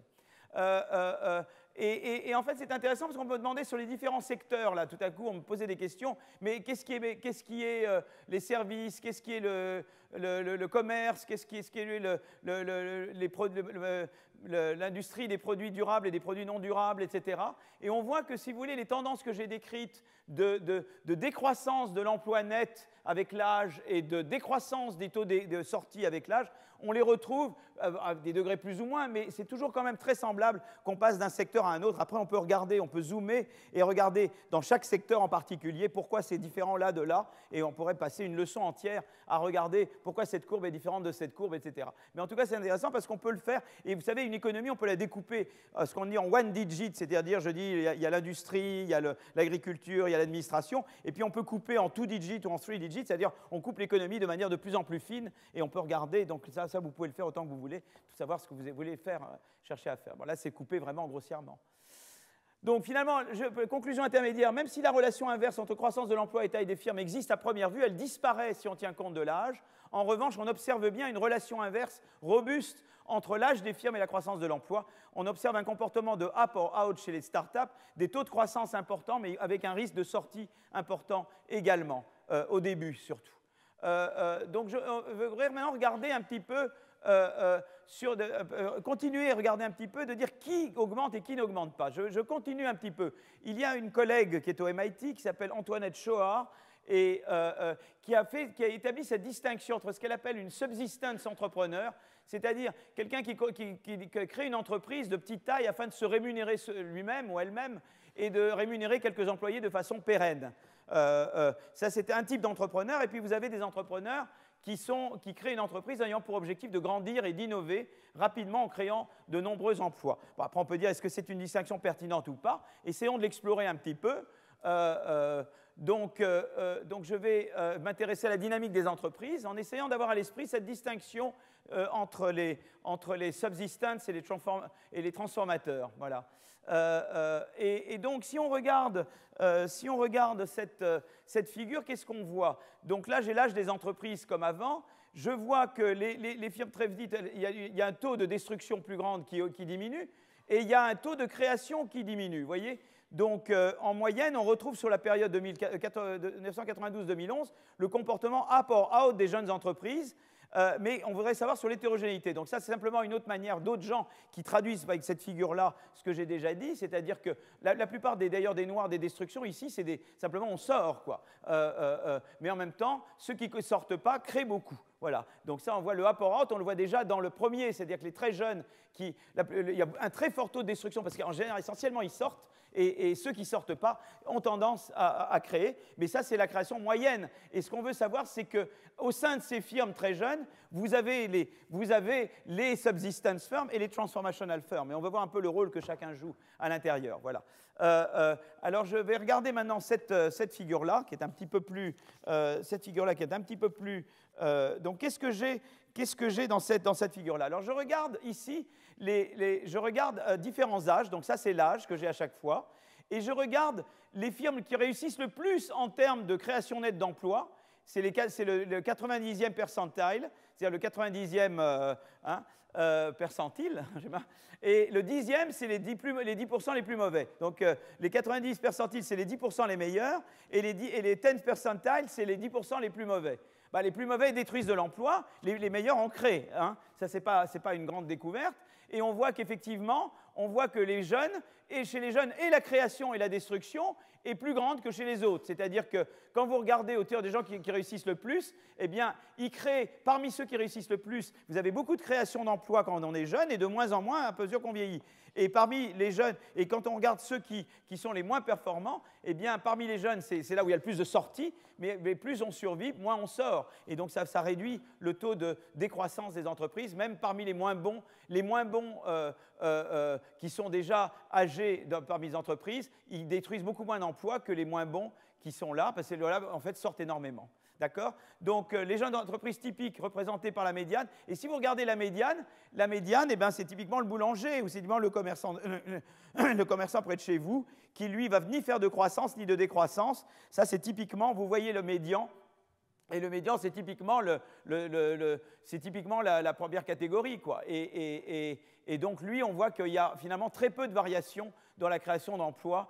Euh, en fait, on est essentiellement à zéro euh, du début à la fin. Quoi. Voilà. Donc ça, c'est l'entreprise médiane. Et puis après, vous avez ceux qui prennent beaucoup de risques. Et dans ceux qui prennent beaucoup de risques, il y a ceux qui réussissent très bien et il y a ceux qui ne réussissent pas. Et puis il y a ceux qui, au départ, n'en prennent pas beaucoup et qui sont plutôt les médians. Voilà. Et, ce qu'on peut voir également, c'est que euh, ce qu'on peut voir également là, là, je regarde le médian et le moyen. Et là, ce qui est intéressant, c'est que le médian, c'est donc le, médian, si vous avez autant de, de gens au-dessus de vous que de gens au-dessous de vous, D'accord? Et le moyen, c'est la création moyenne par âge. Et vous voyez que ce qui est très intéressant, c'est que le, moyen est très au-dessus du médian euh, euh, pour les très jeunes. Donc ça veut dire quoi ça? Veut dire qu'en fait, la création d'emplois parmi les très jeunes, elle est portée par un petit nombre d'entreprises très très dynamiques. Vous avez parmi les très jeunes beaucoup de gens qui sont des gens de subsistance, qui créent très peu d'emplois, et, vous avez un petit nombre d'entreprises hyper dynamiques qui, se mettent à créer beaucoup d'emplois. Donc la moyenne, le taux énorme de, création en moyenne de, net d'emplois euh, euh, euh, ici, elle est portée en fait par un petit nombre d'entreprises, d'accord? Donc voilà ce que je dis. La jeune entreprise typique représentée par la médiane a une croissance très faible de l'emploi. La croissance moyenne de, chez les jeunes entreprises, là, euh, elle est tirée vers le haut par quelques entreprises qui sont vraiment les, innovateurs de Shoah, qui ont des taux de croissance très élevés. Donc vous avez beaucoup qui sont là, essentiellement, avez des commerces où il n'y aura pas de croissance, et très peu qui vont être des entreprises qui vont tirer vers le haut la, croissance. Mais ça vaut le coup de créer toutes les conditions pour avoir ces quelques entreprises qui vont porter l'économie euh, par leur dynamisme. D'accord? Donc on retrouve la distinction subsistance-transformation de Shoah. La majorité des jeunes entreprises ont une croissance faible et se rapprochent de la notion de subsistance entrepreneur, tandis que quelques entreprises ont des taux de croissance très importants et se rapprochent de transformational entrepreneur. Ce sont eux qui sont à l'origine de cette dynamique de hop et ils sont l'exemple typique de l'innovateur du modèle Schumpeterien. Et il faut créer les, conditions pour que ces gens veuillent exister. Donc il vous faut un système fiscal, il vous faut un système de régulation, il vous faut un système financier, il faut tout pour que ces quelques-là puissent exister que sinon vous avez la médiocrité complète. Vous voulez des gens qui puissent exceller et tirer l'économie euh, euh, vers le haut. Bon, euh, maintenant qu'on s'est intéressé au lien entre jeunes entreprises et emploi, on peut se demander quel est l'impact des petits versus gros ou des jeunes versus vieux sur, sur la productivité. Alors ça, c'est un truc, on va passer beaucoup de temps. Je commence à regarder un petit peu ici, mais on y reviendra avec d'autres éclairages, d'accord? Donc là, je vous donne quelques petites graines et on reviendra là-dessus. Euh, d'abord, il y a un gros problème avec la productivité, c'est qu'il faut d'abord la mesurer. Et vous allez voir que je vais revenir souvent sur ce problème de mesure, parce que c'est vraiment pas de la tarte de mesurer la productivité. Et la croissance de la productivité, c'est encore moins de la tarte que le niveau de productivité. Et, et pourquoi? Parce que ce que vous observez, c'est des valeurs monétaires. Or, dans les valeurs monétaires, il y a un aspect quantité, il y a un aspect combien vous vendez, mais il y a l'aspect prix également. Il se peut que vous fassiez beaucoup de revenus parce que simplement vous avez une position de monopole. Mais vous avez peut-être une munition dans le peuple parce que vous avez des barrières à l'entrée, peut-être. Vous voyez ce que je veux dire? Donc, ce n'est pas clair si, si, ce qui est capturé, c'est vraiment le fait que vous êtes meilleur que les autres, ou est-ce que c'est le fait que vous avez une rente de monopole, simplement par une rente de situation, qui vous permet de faire un prix plus élevé que les autres Vous comprenez? Donc, ça, c'est la grande difficulté. Or, malheureusement, ce qu'on voudrait donc, c'est de dire ben, je, voudrais, corriger les valeurs monétaires pour les prix. Mais les prix, on n'a pas des données de prix exhaustives. Donc, on fait ce qu'on peut. Et, souvent, on n'a voilà, pas. Euh, voilà, on, donc on, essaye de séparer l'effet prix du reste. Mais, euh, mais, si on ne parvient pas, on peut croire qu'une entreprise a été très productive alors qu'elle a par exemple des prix très élevés de vente de ses produits ou des prix très bas d'achat de ses inputs, simplement parce qu'elle est monopole ou monopsone. vous voyez qu'elle jouit de pouvoirs de marché qui sont indépendants de, simplement la qualité de ses produits. Donc il y a deux manières. C'est une manière, c'est la productivité physique, et l'autre, c'est la productivité par le revenu. Alors, productivité par le revenu, on a toujours les données. Mais, ce qui nous intéresse, nous, c'est la vraie productivité. C'est de savoir si la productivité par le revenu reflète vraiment le fait qu'on est meilleur que les autres, qu'on a, un niveau de qualité meilleur que les autres. Et alors, alors, il y a une corrélation, heureusement, que la, productivité mesurée par le revenu ou mesurée en termes physiques quand on peut, elles sont quand même corrélées à 0,75. Donc la corrélation parfaite, c'est 1. Donc il y a quand même déjà un élément qui est rassurant, c'est que la productivité revenu et la productivité physique sont quand même corrélées. Euh, euh, donc ça, c'est intéressant. Alors maintenant, ce qu'on peut faire, c'est que on, donc je regarde maintenant la décomposition de la productivité. C'est-à-dire la croissance de la productivité, elle peut venir parce que j'améliore, la, la, productivité des agents de mon entreprise. Vous voyez, je, produis mieux, vous voyez, sans faire vraiment de changement. J'ai voilà, euh, organisé autrement, j'améliore mieux, voilà, je fais. Une autre, une autre source de productivité, c'est l'entrée de nouvelles entreprises meilleures que les anciennes. Et la troisième, c'est ce que j'appelle euh, euh, reallocation incumbent, c'est-à-dire que vous avez par exemple une firme, elle détruit un établissement, elle en crée un autre. Ou elle détruit un poste, elle en crée un autre. Vous voyez ce que je veux dire? Elle réalloue au sein de son truc. Donc la, croissance, si vous voulez, la, within establishment, c'est simplement où tout le monde est à son poste, mais, je, trouve moyen de, de, les améliorer, de faire qu'ils produisent des meilleurs produits ou moins chers. Euh, la net entry, c'est simplement qu'il y a de nouvelles boîtes qui viennent me remplacer ou qui viennent me. Et puis la troisième, c'est l'idée que je, suis, je fais un peu de destruction créatrice à l'intérieur de moi-même. Vous voyez ce que je veux dire?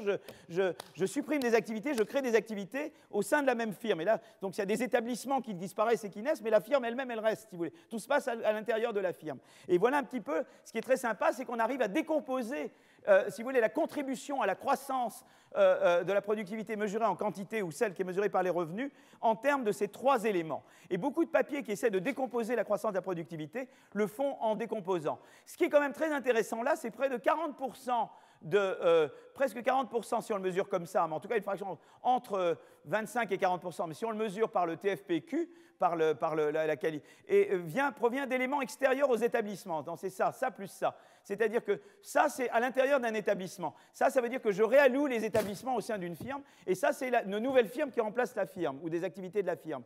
Donc ça plus ça, c'est, de la, si vous voulez, des éléments extérieurs à une activité donnée.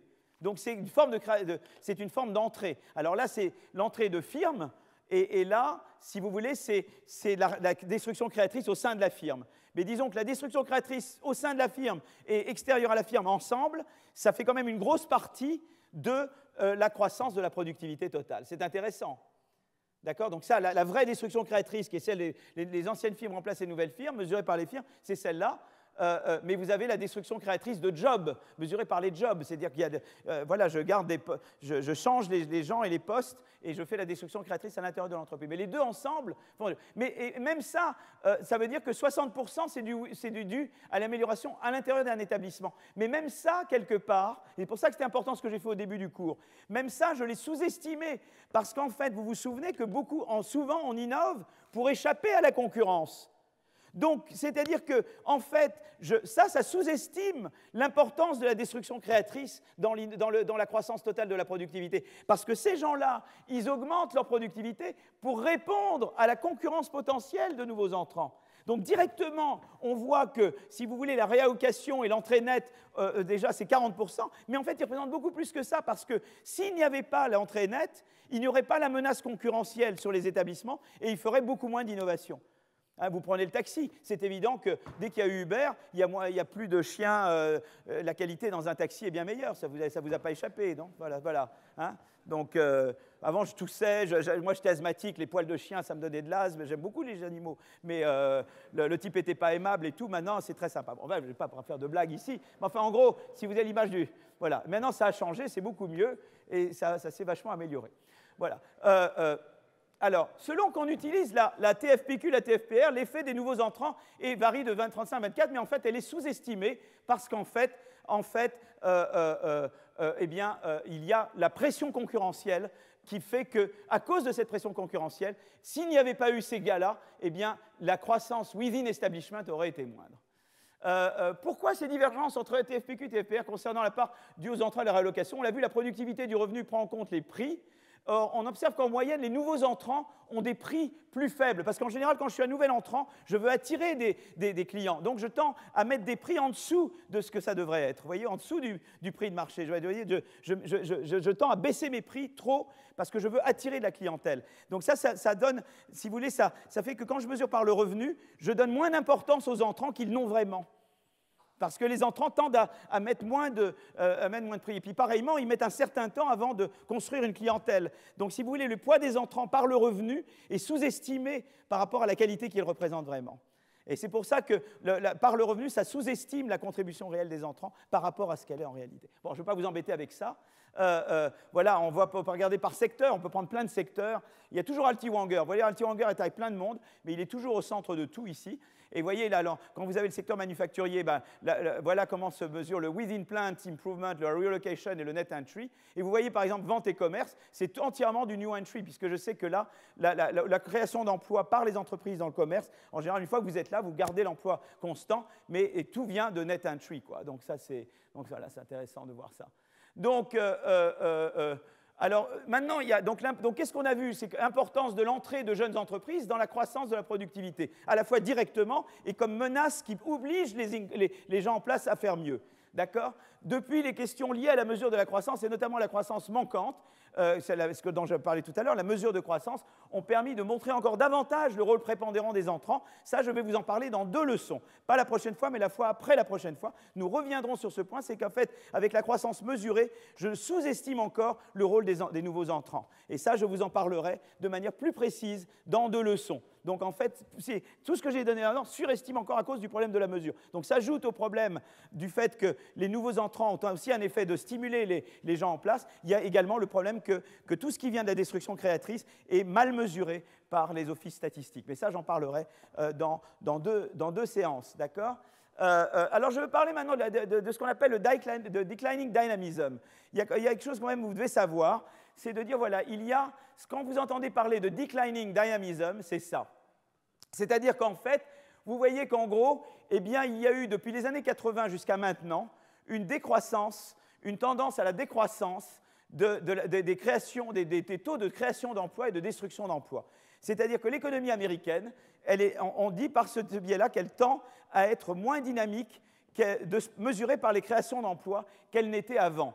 Et, si vous voulez, quelque part, certaines personnes ont essayé de relier, est-ce que par hasard, euh, ce que dit Gordon sur la décroissance de, la sur le fait que la, croissance de la productivité est en déclin aux États-Unis ne serait pas relié à ce euh, dynamisme qui aurait décru aux États-Unis? Euh, alors, ce qui est très intéressant, c'est qu'en tout cas, le facteur principal semble de, ce, dynamisme apparent qui, décroît aux États-Unis semble être la baisse de la part des start-up, c'est-à-dire des firmes très jeunes. Vous voyez, là, vous avez la part dans l'économie des dans, le, PIB de l'économie des, startups, et vous voyez qu'il tend à décroître. Alors là, c'est la startup rate, ça, je pense ça c'est la, part de l'emploi, et ça c'est la part du PIB, c'est ça que j'ai à gauche? Ah, le nombre, nombre de startups, pardon. Ça c'est le nombre de start nombre de, euh, nombre de créations de chaque année de startups, c'est ça. Hein? c'est ça, puisque startup, c'est. Ça, c'est le nombre de startups qui décroît.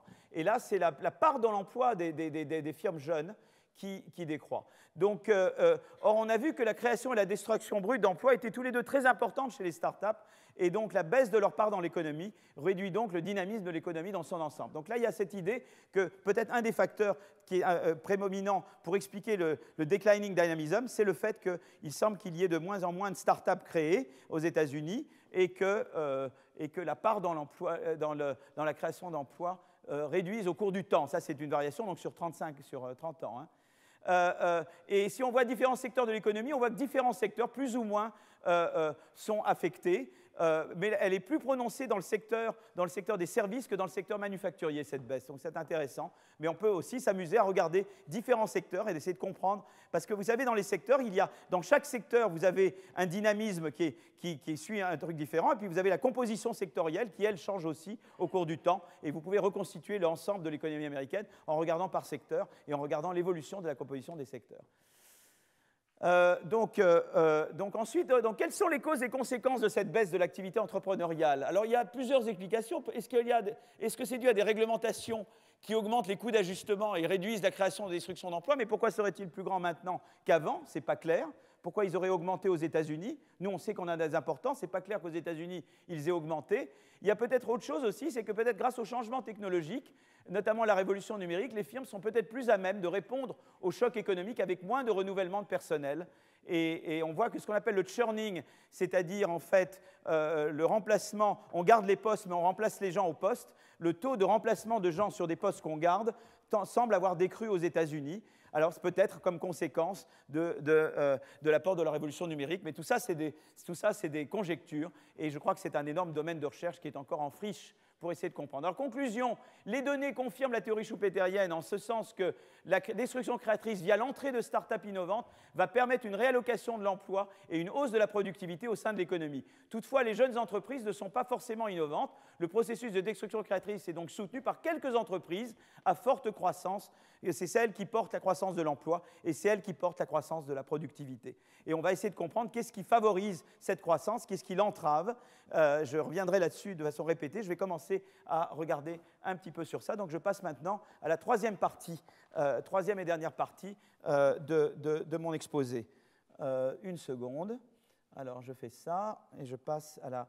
Alors je vais vous donner quelques éléments qui... oh là là, là j'ai un problème là. J'ai fait une bêtise. Alors non, j'ai plus... Oh là là, là j'ai besoin de soutien là. Je, n'ai plus... Ah voilà, voilà, voilà, voilà, voilà, voilà.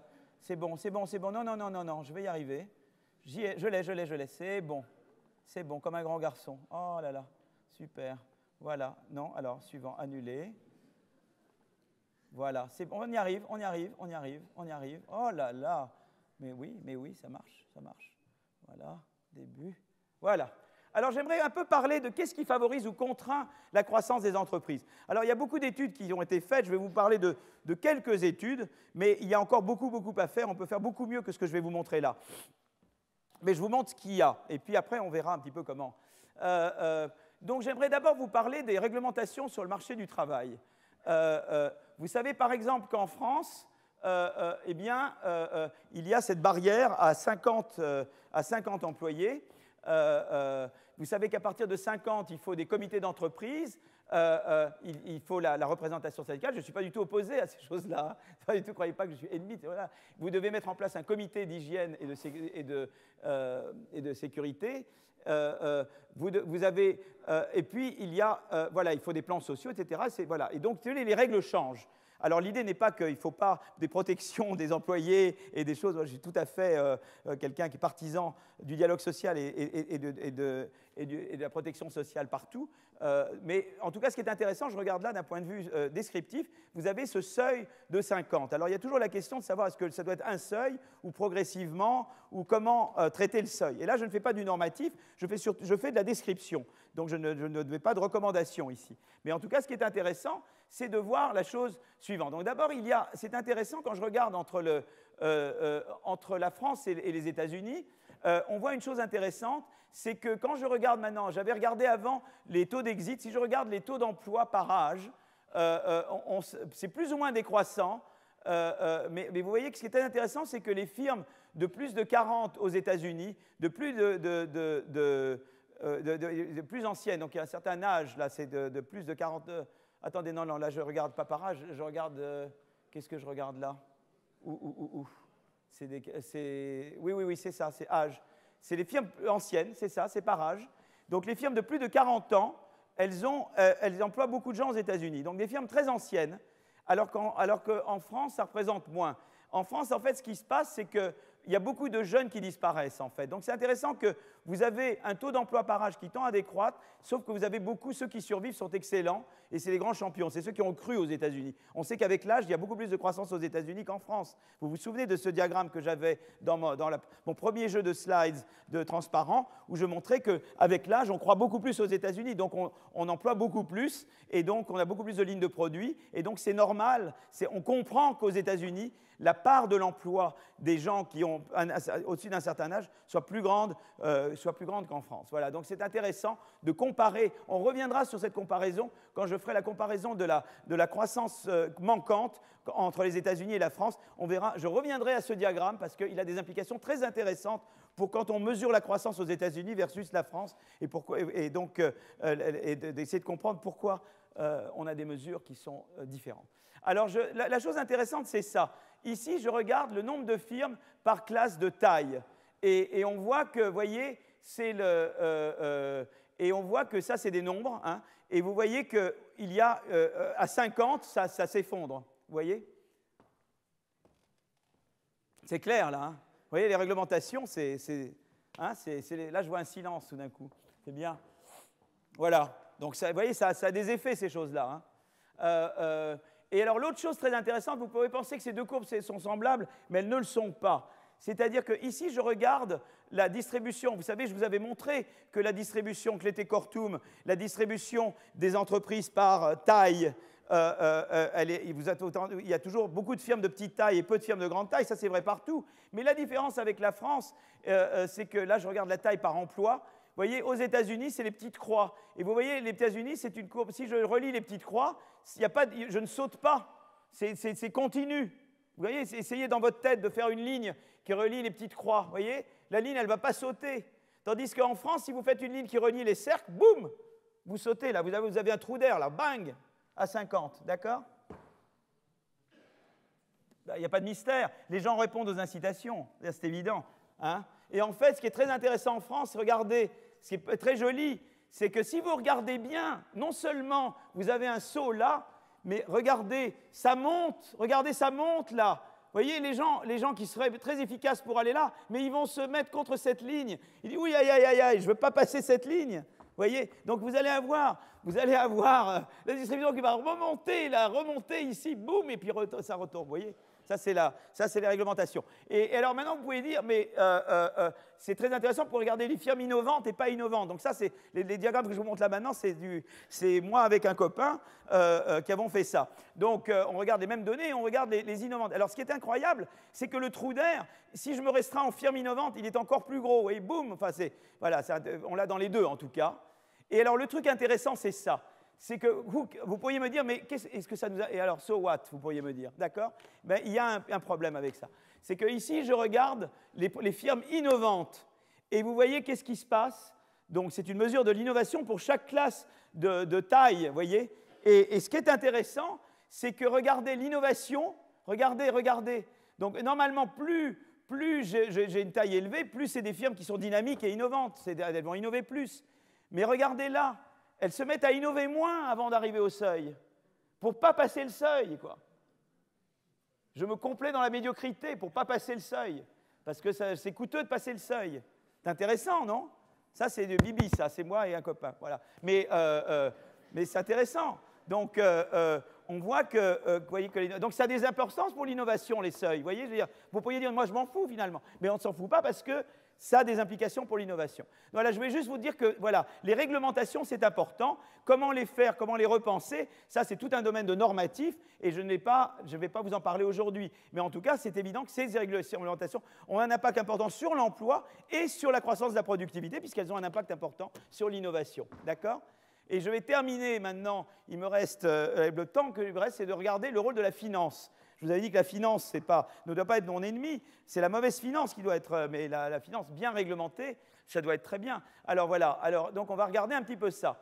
Alors, euh, pourquoi alors, donc ça, on sait que Firm Dynamics, c'est bon pour la productivité parce que les nouvelles firmes remplacent des firmes moins efficaces, et puis ça, ça, ça, pousse les, les, les, les, firmes les firmes en place à innover plus, donc ça on le sait, hein, ça vous le savez déjà, ces deux lignes-là, je n'aurais même pas besoin de les dire, vous avez compris ça depuis le début. Euh, jusqu'à maintenant, eh bien, euh, euh, bah, un certain d'études. Donc, il y a eu, là, je viens de vous parler d'entraves possibles à la croissance des firmes, qui sont les, réglementations sur le marché du travail. Mais il y a eu d'autres, par exemple, il y a des gens qui ont regardé les coûts d'ajustement qui sont, qui, qui sont dus au fait que les gens, par exemple, les firmes en place font de la RD ou, des brevets pour empêcher l'entrée de nouveaux, euh, pour retarder l'entrée de nouveaux. Il y, a tout ce qui est dépensé dans la publicité qui peut servir aussi de barrière. Par exemple, quelqu'un comme John Sutton, qui est un économiste à Londres, euh, euh, a beaucoup parlé de sunk cost et il a parlé de ces choses-là. John Sutton a beaucoup parlé de ces choses-là. Euh, euh, les, coûts administratifs de créer des nouvelles entreprises, c'est très important. Donc, euh, comment on fait pour réduire les coûts administratifs de créer des nouvelles boîtes Et voilà, tout ça, c'est des barrières. Mais là, ici, je regarde le rôle de la finance dans l'entrée des entreprises, dans la sélection des bonnes entreprises et dans, la croissance après l'entrée. Parce que le tout, c'est que je veux d'abord. Ah, il, y a quelques années, il y, avait il y avait très peu de création de start-up. Maintenant, en France, on s'est amélioré. Il y a beaucoup plus de création de start-up. Mais maintenant, il ne suffit pas qu'elles soient là, il faut qu'elles croissent. On veut que ce soit des start-up qui portent la création d'emplois et qui portent l'augmentation de la productivité. Et c'est ça qu'on veut. On ne veut pas juste le nombre de start-up, on veut des start-up dynamiques. Si c'est juste avoir plein de start-up qui sont euh, comme ça apathiques, ce n'est pas intéressant. Euh, euh, donc, donc c'est ça que je vais regarder. Je vais regarder l'effet du développement financier sur l'entrée de firmes à différentes tailles. Et, en gros, voilà un petit peu, voilà un petit peu ce que je vais vous montrer c'est que le, développement FD, c'est développement financier. On va vous traduire toutes les slides. Alors ceux qui veulent, tout sera mis en français. Hein. des fois, je vais un peu vite. Des, fois, je fais ça au dernier moment et je, n'ai pas eu le temps de les traduire. Donc, si vous voulez, euh, euh, l'idée, c'est de dire, voilà, euh, en, moyenne, le développement financier, ça va aider l'entrée parce qu'il y a des coûts d'entrée et ça aide les firmes à payer ces coûts d'entrée ou bien euh, la croissance, c'est pour croître, eh bien, je dois faire des, investissements en R&D, pour, investir de nouvelles lignes de produits, je dois innover, ben, pour innover, j'ai des coûts d'innovation, et ben, le développement financier m'aide à emprunter pour faire ça. Mais euh, ce qui est intéressant, c'est qu'on va voir que pour les, petites firmes, l'impact est positif, et il peut être négatif pour les firmes plus grandes. Ça, c'est intéressant. Et sur l'entrée et, ça, aide toujours la croissance des firmes. Alors je voudrais expliquer simplement l'intuition. En fait, qu'est-ce qui se passe? Supposons que vous avez plein de petits potentiels qui veulent rentrer sur un marché.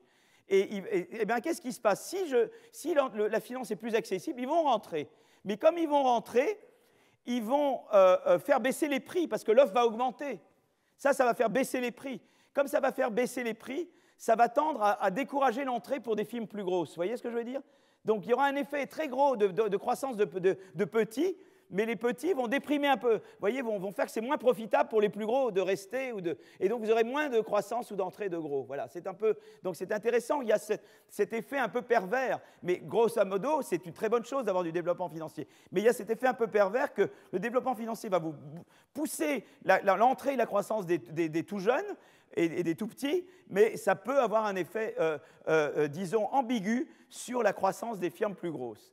Et, euh, eh bien, à cause de cet effet d'équilibre général, c'est que quand vous avez beaucoup de petites firmes qui rentrent, eh ça a un effet quelque part de, concurrence, si vous voulez, un effet de, baisse de prix euh, dû à la concurrence accrue, qui, elle, peut euh, du coup avoir un effet ambigu sur l'entrée des, firmes plus grosses. Donc, on va avoir plus de développement financier, va augmenter l'entrée de petites firmes.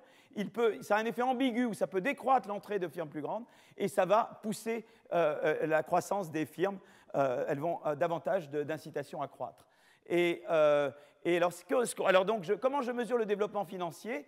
D'abord, comment je mesure l'entrée? Eh bien, je regarde l'entrée dans la base de données, d'accord? Donc, donc, je regarde le nombre d'entrées et je regarde l'entrée par taille d'entreprise, hein, le, taux d'entrée, d'accord Donc, je vais, je vais et ensuite, la, la, croissance, je vais regarder la croissance de l'emploi dans les firmes qui survivent, dans les firmes qui ne sont pas éliminées. Donc je regarde l'entrée par le nombre de nouvelles firmes. Je regarde ensuite l'emploi, la croissance de l'emploi dans les firmes qui restent. Ça, c'est la, post-entry growth. Et puis, je vais regarder comment je mesure le développement financier. Il y a différentes manières. On peut regarder le crédit bancaire. Donc, je regarde le, ratio du, crédit sur le PIB. Je regarde le, degré de capitalisation du marché boursier et euh, je peux faire une moyenne des deux, si vous voulez, de dire, voilà, je peux avoir un, indice synthétique de développement financier qui est la moyenne de, l'indice euh, qui correspond au développement bancaire et de l'indice qui, correspond à, l'indice boursier. Voilà. Et donc, en général, quand on fait de l'économétrie, on essaye plusieurs variables et on essaie de voir si elles vont dans le même sens ou pourquoi elles ne vont pas dans le même sens. Et donc, ce que je vais faire, c'est une régression eh bien, de l'entrée des petites ou des gros et de la, de la, de la, croissance des firmes euh, qui survivent sur le développement financier. Euh, et, ce qu'on voit, c'est la chose suivante, cette table. Donc là, je regarde l'entrée des firmes et je regarde l'effet du développement financier sur l'entrée des firmes en général. Et on voit, alors là, external dependence, ça veut dire qu'en en fait, le développement, il y, a des, il y, a différents types de secteurs. Il y a des secteurs dont, qui ont besoin typiquement de, financement externe. Et puis il y a des secteurs où vous n'avez pas besoin typiquement de financement externe. Voilà, euh, on peut distinguer les secteurs comme ça, et on, peut regarder le, besoin de financement externe en regardant les mêmes secteurs aux États-Unis. Euh, ça, c'est une méthodologie qui est due à deux économistes qui s'appellent Rajan et Zingales, où ils ont dit, ben voilà, pour mesurer, pour que tu n'aies pas de problème d'endogénéité, tu regardes euh, le développement tu vois, tu regardes tel secteur, est-ce que c'est typiquement un secteur où tu as besoin d'emprunter à l'extérieur ou pas? Il y a des secteurs où tu peux te reposer beaucoup plus sur, ton, sur tes capitaux internes. Et, donc, là, on voit que le développement financier a un effet positif et significatif sur le taux d'entrée euh, euh, pour ceux pour ceux qui dépendent des, financements externes. Pour les entreprises de, secteurs qui ne dépendent pas de financement externe, ce n'est pas vrai. Donc c'est pour les secteurs où leurs homologues aux États-Unis, typiquement, dépendent de financement externe. Et bien là, on voit qu'à la fois le développement bancaire, euh, le crédit et le, développement boursier, ou l'indice synthétique qui comprend crédit et développement financier, les deux sont importants. On a besoin et de banques et on a besoin de marchés boursiers. Ça favorise l'entrée dans les secteurs, typiquement. Alors les secteurs, par exemple, c'est des secteurs où on dépend beaucoup de financement externe, mais c'est aussi des secteurs où vous avez très peu de machines que vous pouvez utiliser comme euh, gages. Vous savez, quand on peut avoir des gages, on emprunte très facilement. Quand on n'a pas beaucoup de machines, de trucs matériels qui peuvent servir de gages, là aussi, typiquement, on est beaucoup plus dépendant de financement externe. Mais on peut regarder par taille. Et alors, ce qui est très intéressant, c'est qu'on voit bien que c'est par taille. C'est que le, développement, le crédit et le développement euh, boursier, ça aide à la croissance dans des firmes petites. Vous voyez, c'est les petites surtout. Quand on regarde les firmes plus grandes, on ne voit plus d'effet. Donc, c'est probablement que l'effet d'équilibre général, l'effet euh, de concurrence dont j'ai parlé tout à l'heure, doit jouer pour contrebalancer l'effet direct que le développement financier aurait sinon sur le développement des entreprises. Donc c'est vraiment les petits. Le, développement financier aide à l'entrée des petits. Voilà, c'est plus d'ambiguïté sur les plus gros parce que là, vous avez davantage cet effet, euh, cet effet prix qui joue. Donc ça, c'est intéressant. Et alors l'autre chose qui est intéressante, on peut contrôler pour plein de, politiques, c'est un, résultat très robuste, on peut contrôler pour toute une série de, variables de politique. Là, on contrôle pour, les réglementations sur le marché de l'emploi, et on montre que c'est vrai. Donc, vous voyez, même on contrôle J'avais dit tout à l'heure que c'est important, les réglementations sur le marché de l'emploi. Mais maintenant, je dis ici, je fais abstraction d'elles, ou je contrôle pour elles, et même en, contrôlant pour elles, l'effet de la finance est important. Euh, là, euh, là je, contrôle pour des, différents trucs, des coûts administratifs d'entrée, etc. Euh, des, voyez, différentes mesures administratives qui peuvent affecter les coûts d'entrée. Et je vois que cette relation entre finance et taux d'entrée est robuste. Voilà. Et alors là, là ce que je regarde, c'est la, croissance des firmes, c'est-à-dire que là, le, crédit bancaire et le, stock market, eh bien, ça aide à la croissance des entreprises. Voilà. Et donc, si vous voulez, vous aidez, vous aidez à l'entrée des startups et vous aidez les startups à croître. En gros, c'est ça. Mais j'avais vu que c'est ça qui est très important pour tirer la croissance. Et le, développement financier joue un rôle, euh, joue un rôle important euh, pour faire ça. Voilà. Donc ça, c'est euh, à nouveau, ici, je contrôle pour le, pour les, notamment pour les, réglementations du marché du travail. Vous avez toujours un rôle de, du développement financier. Donc, si on regarde maintenant l'Union européenne versus les États-Unis, eh bien, y a, y a, y a, euh, on a plus de réglementation, on a moins de concurrence aux États-Unis par rapport aux US. Mais c'est vrai aussi, pas seulement le marché des produits, mais c'est aussi dans le secteur bancaire. Euh, et, on a des indices de capitalisation, vous voyez, qui sont beaucoup plus gros, évidemment, aux États-Unis que chez nous. Et le capital, alors ça, c'est des données 2007, donc je ne sais pas où on en est maintenant, mais je crois que ça n'a pas énormément bougé le ratio. Mais en 2007, vous voyez, le, capital risque était beaucoup, beaucoup plus développé, euh, euh, vous voyez, qu'aux États-Unis, que, disons, en France, en Allemagne, etc. Donc, vous voyez, tout de suite, là, on a des marges énormes, nous, pour augmenter le dynamisme de nos entreprises, c'est-à-dire pour, à la fois, on peut jouer sur les seuils et sur les politiques de seuil euh, d'un côté, et de l'autre, on peut jouer sur le développement financier. Par exemple, en France, donc le, capital risque est, beaucoup moins développé. Euh, ils ont aussi beaucoup aux États-Unis ce qu'on appelle les investisseurs institutionnels, les fonds mutuels, etc. Bon, ils ont les fonds de retraite, hein, euh, mais ils ont toute une série d'acteurs qu'on appelle les investisseurs institutionnels et qui sont beaucoup plus développés chez eux. Évidemment, tout ça, c'est des éléments qui contribuent à stimuler l'entrée de, petites entreprises et la croissance de petites entreprises. Voilà. Donc, conclusion, la réglementation sur le marché du travail affecte la croissance des firmes et leur propension à innover et à croître. Le financement bancaire et le financement boursier ont un impact positif sur l'entrée et la croissance de nouvelles entreprises.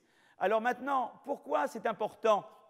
Je voulais terminer, puisque maintenant il est euh, moins, 5, je vais terminer en vous montrant deux, euh, deux finalement, bon, les jeunes, je vous ai déjà dit sur plusieurs choses, ils créent plus les jeunes qui sont dynamiques créent plus d'emplois, euh, euh, la croissance, les, nouvelles entreprises euh, contribuent à la croissance de la productivité dans leur ensemble. Donc ça, on sait qu'il y a ça. Ils contribuent directement et indirectement à travers l'effet de, de stimulants qu'ils ont sur les entreprises en place pour qu'elles s'améliorent, pour survivre la concurrence des nouvelles entreprises. Mais il y a aussi quelque chose d'intéressant, c'est là. Alors là, je vous ai mis en termes de taille, mais comme vous allez dire, euh, euh, ça, c'est des travaux, mais je reviendrai dessus dans deux leçons. Euh, de Ufuk, mon ami Ufuk qui est là, Ufuk Aksigit, et, William Kerr, qui est à Harvard Business School, et il regarde la relation entre le nombre de brevets par employé et, et, la taille des entreprises. Donc ils auraient dû regarder l'âge, mais là, ils regardent la taille. Mais en tout cas, ce qui est très intéressant, c'est que vous avez les les petites entreprises ont un, très grand nombre de, brevets. Alors évidemment, le dénominateur est petit, puisque vous faites le nombre de brevets divisé par le nombre d'employés. Donc évidemment, quand le dénominateur est petit, c'est facile que le, total, mais c'est quand même intéressant que le nombre de brevets euh, par employé soit, euh, beaucoup, tellement plus grand dans les petites entreprises que dans les grandes. Alors évidemment, au total, si vous regardez le total, euh, les grandes entreprises ont tendance à faire plus de brevets, mais parce qu'elles ont beaucoup plus de monde, vous comprenez? Donc, là, il y, a, le... Mais c'est intéressant que vous avez le nombre de brevets par employé qui est très grand dans les petites entreprises. Et alors là, ce qui est très intéressant, c'est le, les major advance. Donc là, alors là, c'est intéressant parce que là, ils mesurent euh, euh, employee count, mais là, il mesure la taille des entreprises par le nombre de product lines, voyez, comme, comme dans Clété Cortum. Et, ce qui me représente en ordonnée, c'est la part des major advances. Et ils font les major advances par, la, par les citations des brevets. Vous savez, dans les brevets, vous avez des brevets très peu cités et des brevets très cités. Et, alors ça, c'est une des moyens de faire. L'autre, c'est de dire, est-ce que j'ai des triadiques? Il y a des brevets qui sont reconnus aux États-Unis, au Japon, en Europe, et des brevets qui sont reconnus que dans l'un des trois ou dans aucun des trois. Ou sinon, vous avez ce que vous appelez des prior patents, c'est-à-dire que j'ai le premier brevet sur le... Et après, il y en a plein d'autres qui sont sur le même modèle, mais je veux savoir combien de, prior patents que j'ai produits. Et ce qui est très intéressant, c'est qu'ils prennent différentes métriques. Là, j'en mets une. Ils en mettent sur les Major Advances. Et vous voyez que c'est les petits qui font les grosses avances. Voilà. on est comme ça, nous aussi. Les, trucs importants, c'est au début. Et, après, vous tendez, vous tendez, à en faire moins. Donc, euh, c'est intéressant. Les grosses boîtes, au total, tendent à faire plus de brevets parce qu'elles ont plus de monde. Mais des brevets par personne, elles en font moins. Et surtout, ce qui est très intéressant, c'est que quand vous regardez, vous classifiez les brevets par euh, importance du brevet, eh bien, c'est vraiment les petites entreprises qui contribuent le plus aux, avances, voyez, aux major euh, breakthroughs, aux, avances qui sont les plus fondamentales, les plus radicales. Donc, vous voyez, tout à coup, je vous avais dit, les petits qui survivent, c'est des gens qui contribuent beaucoup à l'emploi. On sait déjà qu'ils contribuent à la productivité de la croissance, mais en termes d'innovation, c'est vraiment eux qui contribuent le plus aux innovations qui vont porter, voilà, les innovations qui vont être très porteuses de, grandes découvertes et de grandes choses. Voilà. Donc euh, c'est pour vous motiver pour les sessions suivantes où nous reviendrons sur toutes ces choses. Merci beaucoup.